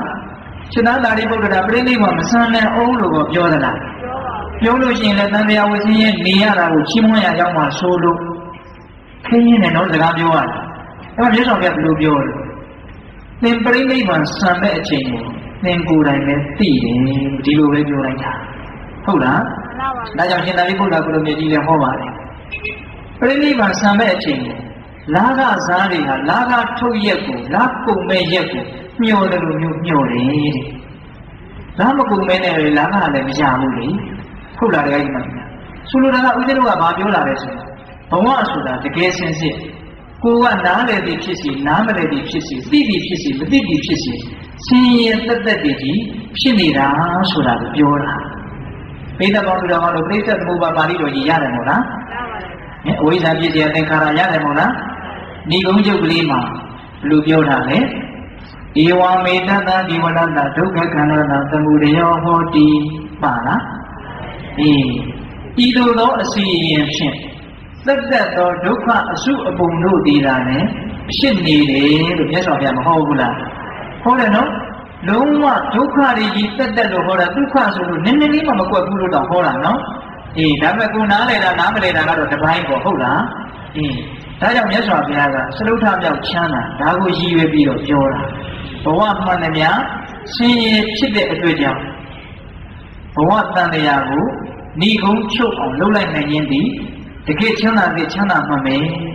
ဒါပြောတာဟုတ်လားဟိုဦးဇင်းတို့ရှင်သာရိပုတ္တရာကိုတာမဏကပရမိုက်မေးတာလေးကိုဦးဇင်းတို့ဏီကုံချုပ်ကလေးပြောချင်ဟုတ်လားမမေးလေဆိုတော့အရှင်ဘုရားတဲ့လောကမှာဘယ်ဟာကချမ်းသာတယ်ဘယ်ဟာကဆင်းရဲတယ် အဲ့တော့ရှင်သာရိပုတ္တရာဘယ်လိုဖြေလဲဆိုတော့တပံဘဝဖြစ်ရခြင်းဒီဆင်းရဲတယ်ဘဝချုပ်သွားခြင်းဒီချမ်းသာတယ်ဉာဏ်အကြီးဆုံးဘုရားပြီးရင်ဉာဏ်အကြီးဆုံးပုဂ္ဂိုလ်ဖြေတာနော်အဲ့ဒီမှာတာမဏေကပရပိုက်ကဆက်ပြီးတော့မေးတယ်ဗျာဒီနေ့စိတ်ဝင်စားတဲ့အကောင်လို့နောက်ထပ်တစ်ခွန်းထပ်ပြီးတော့ပြောမယ်အရှင်ဘုရားတို့ရဲ့သာသနာတော်မှာတော့ဘယ်ဟာကချမ်းသာလဲဘယ်ဟာကဆင်းရဲလဲဟုတ်သောတော်ကဘဝနဲ့ရှိမေးတာနောက်ကကျတော့သာသနာမှာမေးတာနော် တို့သာသနာယဟန်ဒီဘဝမှာတော့ပျော်ရင်ချမ်းသာတယ်မပျော်ရင်ဆင်းရဲတယ်ဒီလိုပြောတာနော်အဲ့တော့ဦးဇင်းတို့ဘဝဖြစ်နေရရင်ဆင်းရဲတယ်ဘဝချုပ်သွားမှချမ်းသာတယ်ဒါဘဝနဲ့ပတ်သက်ပြီးတော့အမြင်လေးတွေကိုဦးဇင်းတို့ဘုဟုတ္တရှိနေခြင်းတို့သိတဲ့ကောင်းသူတော်ကောင်းတို့ကိုပြောပြတယ်ဟုတ်လားကိုယ်တိုင်သဘောပေါက်ခြင်းတယ်ဆိုလို့ရှိရင်ပฏิပဋ္ဌာန်တရားကိုကြိုးစားကြည့် ဝိပဿနာတရားကြိုးစားကြည့်အတူတူပဲတော့မဂ်ခင်၈ပါးကြိုးစားကြည့်ဟုတ်လားဘာလို့တာလဲဆိုတော့ကိုယ်အကြောင်းကိုကိုနားလည်အောင်ကြိုးစားတာဒီနေ့တရားအထုတ်တယ်ဆိုတာကိုယ်ဘဝအကြောင်းကိုနားလည်အောင်ကြိုးစားတာဘာတွေဖြစ်နေတာလဲလို့သိအောင်ကြည့်တာအကောင်းလားအဆိုးလားဝိမာန်နဲ့အောင်ကြည့်တာခုဒကာဓမ္မတို့ဦးဇင်းတို့တွေကတကယ်မှဘဝကိုပြစ်စလက်ခတ်ဖြစ်တယ်လို့နေတာများယင်းတခါကြီးမှမြင် အကောင်းလားအဆိုးလားလို့ဘာမှမဝေဖန်ဘူးမြင်ရင်ကြည့်လိုက်တာပဲကြားရင်နားထောင်လိုက်တာပဲကောင်းရင်ကြိုက်လိုက်တာပဲမကောင်းရင်မိုက်ဖို့ကြိုးစားမှာပဲဟုတ်လားဒါပဲနော်တခါကြီးမှမြင်ဘလောက်မှနေခြင်းကသိအဆင်မပြေဘူးနော်ဘုရုရှင်တွေနေကြတာဟုတ်လားကောင်းရင်ကြိုက်မယ်မကောင်းရင်တိုက်မယ်ဟုတ်လားအေးမြင်တဲ့နောက်လိုက်မယ်ကြားတဲ့နောက်လိုက်မယ်တကယ်ကိုဖြစ်တယ်လို့ရေစုံမျောပြီးတော့နေနေကြတာအဲ့ဒါတတိပ္ပံတရားကျိုးလာတယ်ဝိပဿနာတရားကျိုးလာတယ်ဆိုတာ ကိုယ့်ရဲ့ဘဝဆိုတာဘာလဲလို့သိအောင်ကြိုးစားတာဟုတ်ရဲ့လားအေးဘဝဆိုတာအဆိုးလားအကောင်းလားလို့ခွဲခြားတတ်ဟုတ်ရဲ့လားဒီဝင်လေထွက်တွေစပြီးတော့မှတ်မယ်မြင်တိုင်းသတိထားမယ်ကြားတိုင်းသတိထားမယ်စားတိုင်းသတိထားမယ်သွားတိုင်းသတိထားမယ်ထိတိုင်းသတိထားမယ်ဟုတ်လားအဲ့လိုသတိထားမှများလာတော့ဩဖြစ်ပေါ်လာတိုင်းဖြစ်ပေါ်လာတိုင်းတော့တရားတွေဟာပျက်စီးသွားတာကြီးပဲပြီးသွားတာကြီးပဲလို့ နည်းနည်းနည်းနည်းဘာဖြစ်လာမလဲသဘောပေါက်လာဟုတ်လားအဲ့ဒါလိုသဘောပေါက်လာတာနဲ့အမျှဘဝဆိုတာငါချင်းတဲ့အတိုင်းမဟုတ်ဘူးတကယ်ကတော့အချီးအနီးဒုက္ခတွေပဲဖြစ်နေတာလို့သဘောပေါက်နားလည်လာမယ်ဆိုလို့ရှိရင်ဘဝရဲ့ပုံမှာတွေ့တာမမောတဲ့လောဘတွေနေမသွားပြီဘူးလားနေပါတယ်ဗျာဘဝကိုအကြောင်းပြုပြီးတော့ရကျင်နေတဲ့အာယုန်တွေကိုသိပ်ပြီးတော့မျက်နှိုးတဲ့ရကျင်နေတဲ့လောဘတွေကိုနည်းမသွားပြီဘူးလားနေပါတယ်ဗျာ အာယုန်တွေကိုရကျင်တဲ့လောဘနည်းသွားပြီဆိုရင်အဲ့ဒီအာယုန်တွေကိုရအောင်ဖန်တီးပေးတဲ့ငွေကြီးတို့အတိုင်းဝိုင်းတို့ဆိုတာတွေရဲ့ပုံမှာမမောတဲ့စိတ်တွေကိုနည်းမသွားပြီဘူးနေပါတယ်ဗျာအေးပါလူတွေဟာငွေကိုဘာလို့အားကြီးမကြတယ်ဆိုရင်အာယုန်တွေကိုမက်လို့ငွေကိုမရတာဗျာငွေဆိုတာကိုရကျင်တဲ့အာယုန်ကိုဖန်တီးနိုင်တော့မရှိဘူးလားရှိပါတယ်ဗျာရှိတယ်အဲ့ဒီငွေကိုမက်လို့ပဲကိုယ့်ရဲ့ဘဝကိုယ့်ရဲ့အခြေအနေကိုအများကြီးပေးပြီးတော့ကြိုးစားကြရတာ မကြိုးစားလို့လည်းမဖြစ်ဘူးနော်စားဝတ်နေရေးကလည်းရှိသေးတာကိုဦးချင်းတို့ပြောနေတာကတန်ဖိုးရှိတဲ့ဘဝတန်ဖိုးရှိတဲ့အခြေအနေကိုသိပြီးတော့မလိုအပ်တဲ့ကိစ္စတွေအတွက်ဖြုံးပြီးဖြစ်မှာဆိုလို့အဲ့ဒါကိုရည်ရွယ်ပြီးတော့ပြောနေတာစားဝတ်နေရေးမကြိုးစားရဘူးလို့ဆိုလိုတာမဟုတ်ဘူးဟုတ်လားအေးအဲ့ဒီတော့ဦးချင်းတို့ပြောနေတာကပါလေဒေါမတွေနည်းသွားခြင်းလေဆိုလို့ရှိရင်ဘဝရဲ့အကြောင်းကိုအမှန်တိုင်းမြင်အောင်မလုပ်ကြရဘူးလေကြိုးစားကြရအောင် အဲ့ဒီလိုဆိုလို့ရှိရင်လောဘနည်းသွားတယ်လောဘနည်းလို့ရှိရင်ဒေါသလည်းနည်းပါပဲဘာဖြစ်လို့လဲဆိုတော့လူကျင်တာတွေရကျင်တာတွေအတွက်ကြိုးစားရင်ကြိုးစားရင်းနဲ့အစင်မပြေတာတွေဖြစ်ပြီးတော့စိတ်တွေကတူကြရတာကိုဒါဘယ်သူညင်းနိုင်မလဲရှင်မမညင်းနိုင်ဘူးနော်ဒေါသဆိုတာကကစားဘယ်လိုပြောထားလဲဘယ်လိုမကြတာဒေါသလို့ပြောထားတာမဟုတ်လားမှန်ပါဗျာဘာမကြတာလူမကြတာဘယ်လိုမကြတာ အလိုဆိုတာကိုကစားပြီးတော့နဲတယ်ဆိုရင်အလိုမကြတာလည်းနဲမသွားပြီဘူးလားအလိုဆိုတာလုံးဝမရှိတော့ဘူးဆိုရင်အလိုမကြတာလည်းလုံးဝမရှိတော့ဘူးအဲ့တော့ဒေါသကြီးတယ်ဆိုတာလောဘကြီးလို့ကြီးကြရတာဟုတ်ရဲ့လားလောဘကြီးတော့ရကျင်တာတွေများဖြစ်ကျင်တာတွေများကြိုးစားတာတွေများအခက်အခဲတွေများအနှောင့်အယှက်တွေများအဆင်မပြေတာတွေများအဲ့ဒီတော့ဘာဖြစ်မလို့ဒေါသတွေလည်းအများကြီးဖြစ်ရတယ်။သဘေးတကောင်းသူတော်ကောင်းတို့ တကယ်ချမ်းသာတဲ့ချမ်းသာမှန်ကိုရရင်ဒီစလုထမြောက်မြတ်စွာဘုရားပြောထားတဲ့စကားတော်ကိုလေးလေးနက်နက်စဉ်းစားတတ်ဖို့လိုပါတယ်ဟုတ်လားဒီနေရာမှာမြတ်စွာဘုရားအတိအကျပြောတာကတော့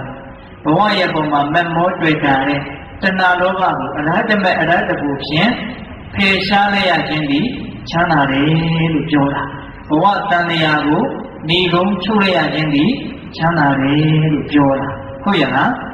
သူကတော့အလေးနဲ့ဆုံးချမ်းသာပဲနော်အေးအဲ့ဒီနိဗ္ဗာန်ချမ်းသာဆိုတာကိုမရသေးသမျှကာလပတ်လုံးအခုဘယ်တော့ပဲအစဉ်ပြေပြေဟုတ်လားကိုရမယ်နာရမယ်သိရမယ်နောက်ထပ်ဘဝတစ်ခုရမယ်ရတိုင်းရတိုင်းသောဘဝတိုင်းဘဝတိုင်းဒီသိခြင်းတရားနဲ့အဆုံးသတ်ပြီးဒီလိုနဲ့မပြီးနိုင်မင်းနဲ့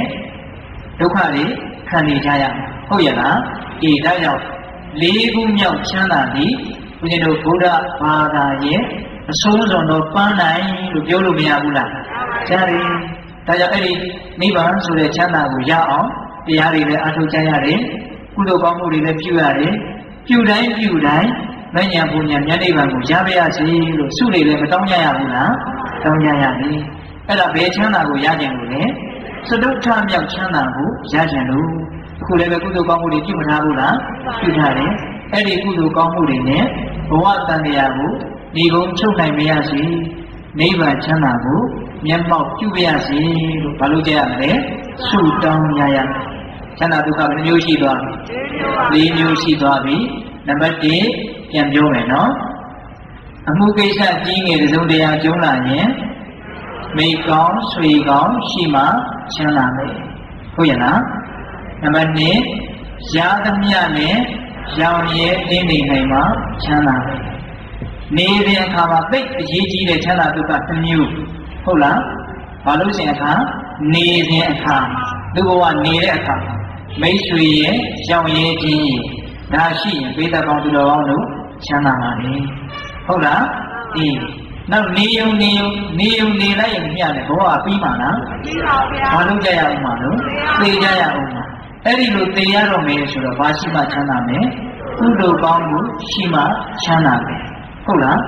အေးအဲ့ဒါလို့ငွေလိုက်သေးလိုက်ဖြစ်လိုက်ပြက်လိုက်ဆိုတဲ့တန်လျာကြီးဟာဆင်းရဲတဲ့အတွက်ကြောင့်လုံးဝဒီကုန်းချုပ်လိုက်နိုင်မှဘဝကိုတွေ့တာမမောတဲ့တဏှာလောဘကိုအရဟတမေအရဟတကိုနဲ့လုံးဝဒီကုန်းချုပ်လိုက်နိုင်မှစတုထမြောက်နောက်ဆုံးအဓိကကြတဲ့ချမ်းသာကိုရမယ်။ဣတ္တရဲ့ချမ်းသာဒုက္ခ၄ပါးမပြည့်စုံဘူးလား။ပြည့်စုံတယ်။လောကီလူရောလောကုတ္တရာလူရောဟုတ်ရလား။ အေးဒါကြောင့်ဒေသပေါင်းသူတော်ကောင်းတို့မိကောင်းဆွေကောင်းကိုရှားဖွေပြီးတော့ပေါင်းသိပြီးတော့နံပါတ်1ချမ်းသာကိုရနိုင်ကြပါစေ။ရောင်ရဲတင်းနေမှုဖြင့်နံပါတ်1ချမ်းသာကိုရနိုင်ကြပါစေ။ကုသိုလ်ကောင်းမှုတွေအများကြီးပြုပြီးတော့မဖြစ်မနေရင်ဆိုင်ကြရမယ်တည်ခြင်းတရားကိုချမ်းချမ်းသာသာအစဉ်ပြေစွာရင်ဆိုင်နိုင်ကြပါစေဟုတ်လား နောက်ဆုံးဘဝတန်ရာဒုက္ခကလွတ်ရာနိဗ္ဗာန်ချမ်းသာကိုမျက်မှောက်ပြုနိုင်ကြပါစေလို့ဦးဇင်းတို့ဆုတောင်းခြင်းနဲ့မေတ္တာပို့ပြီးတော့ဆုံးသတ်ကြရအောင်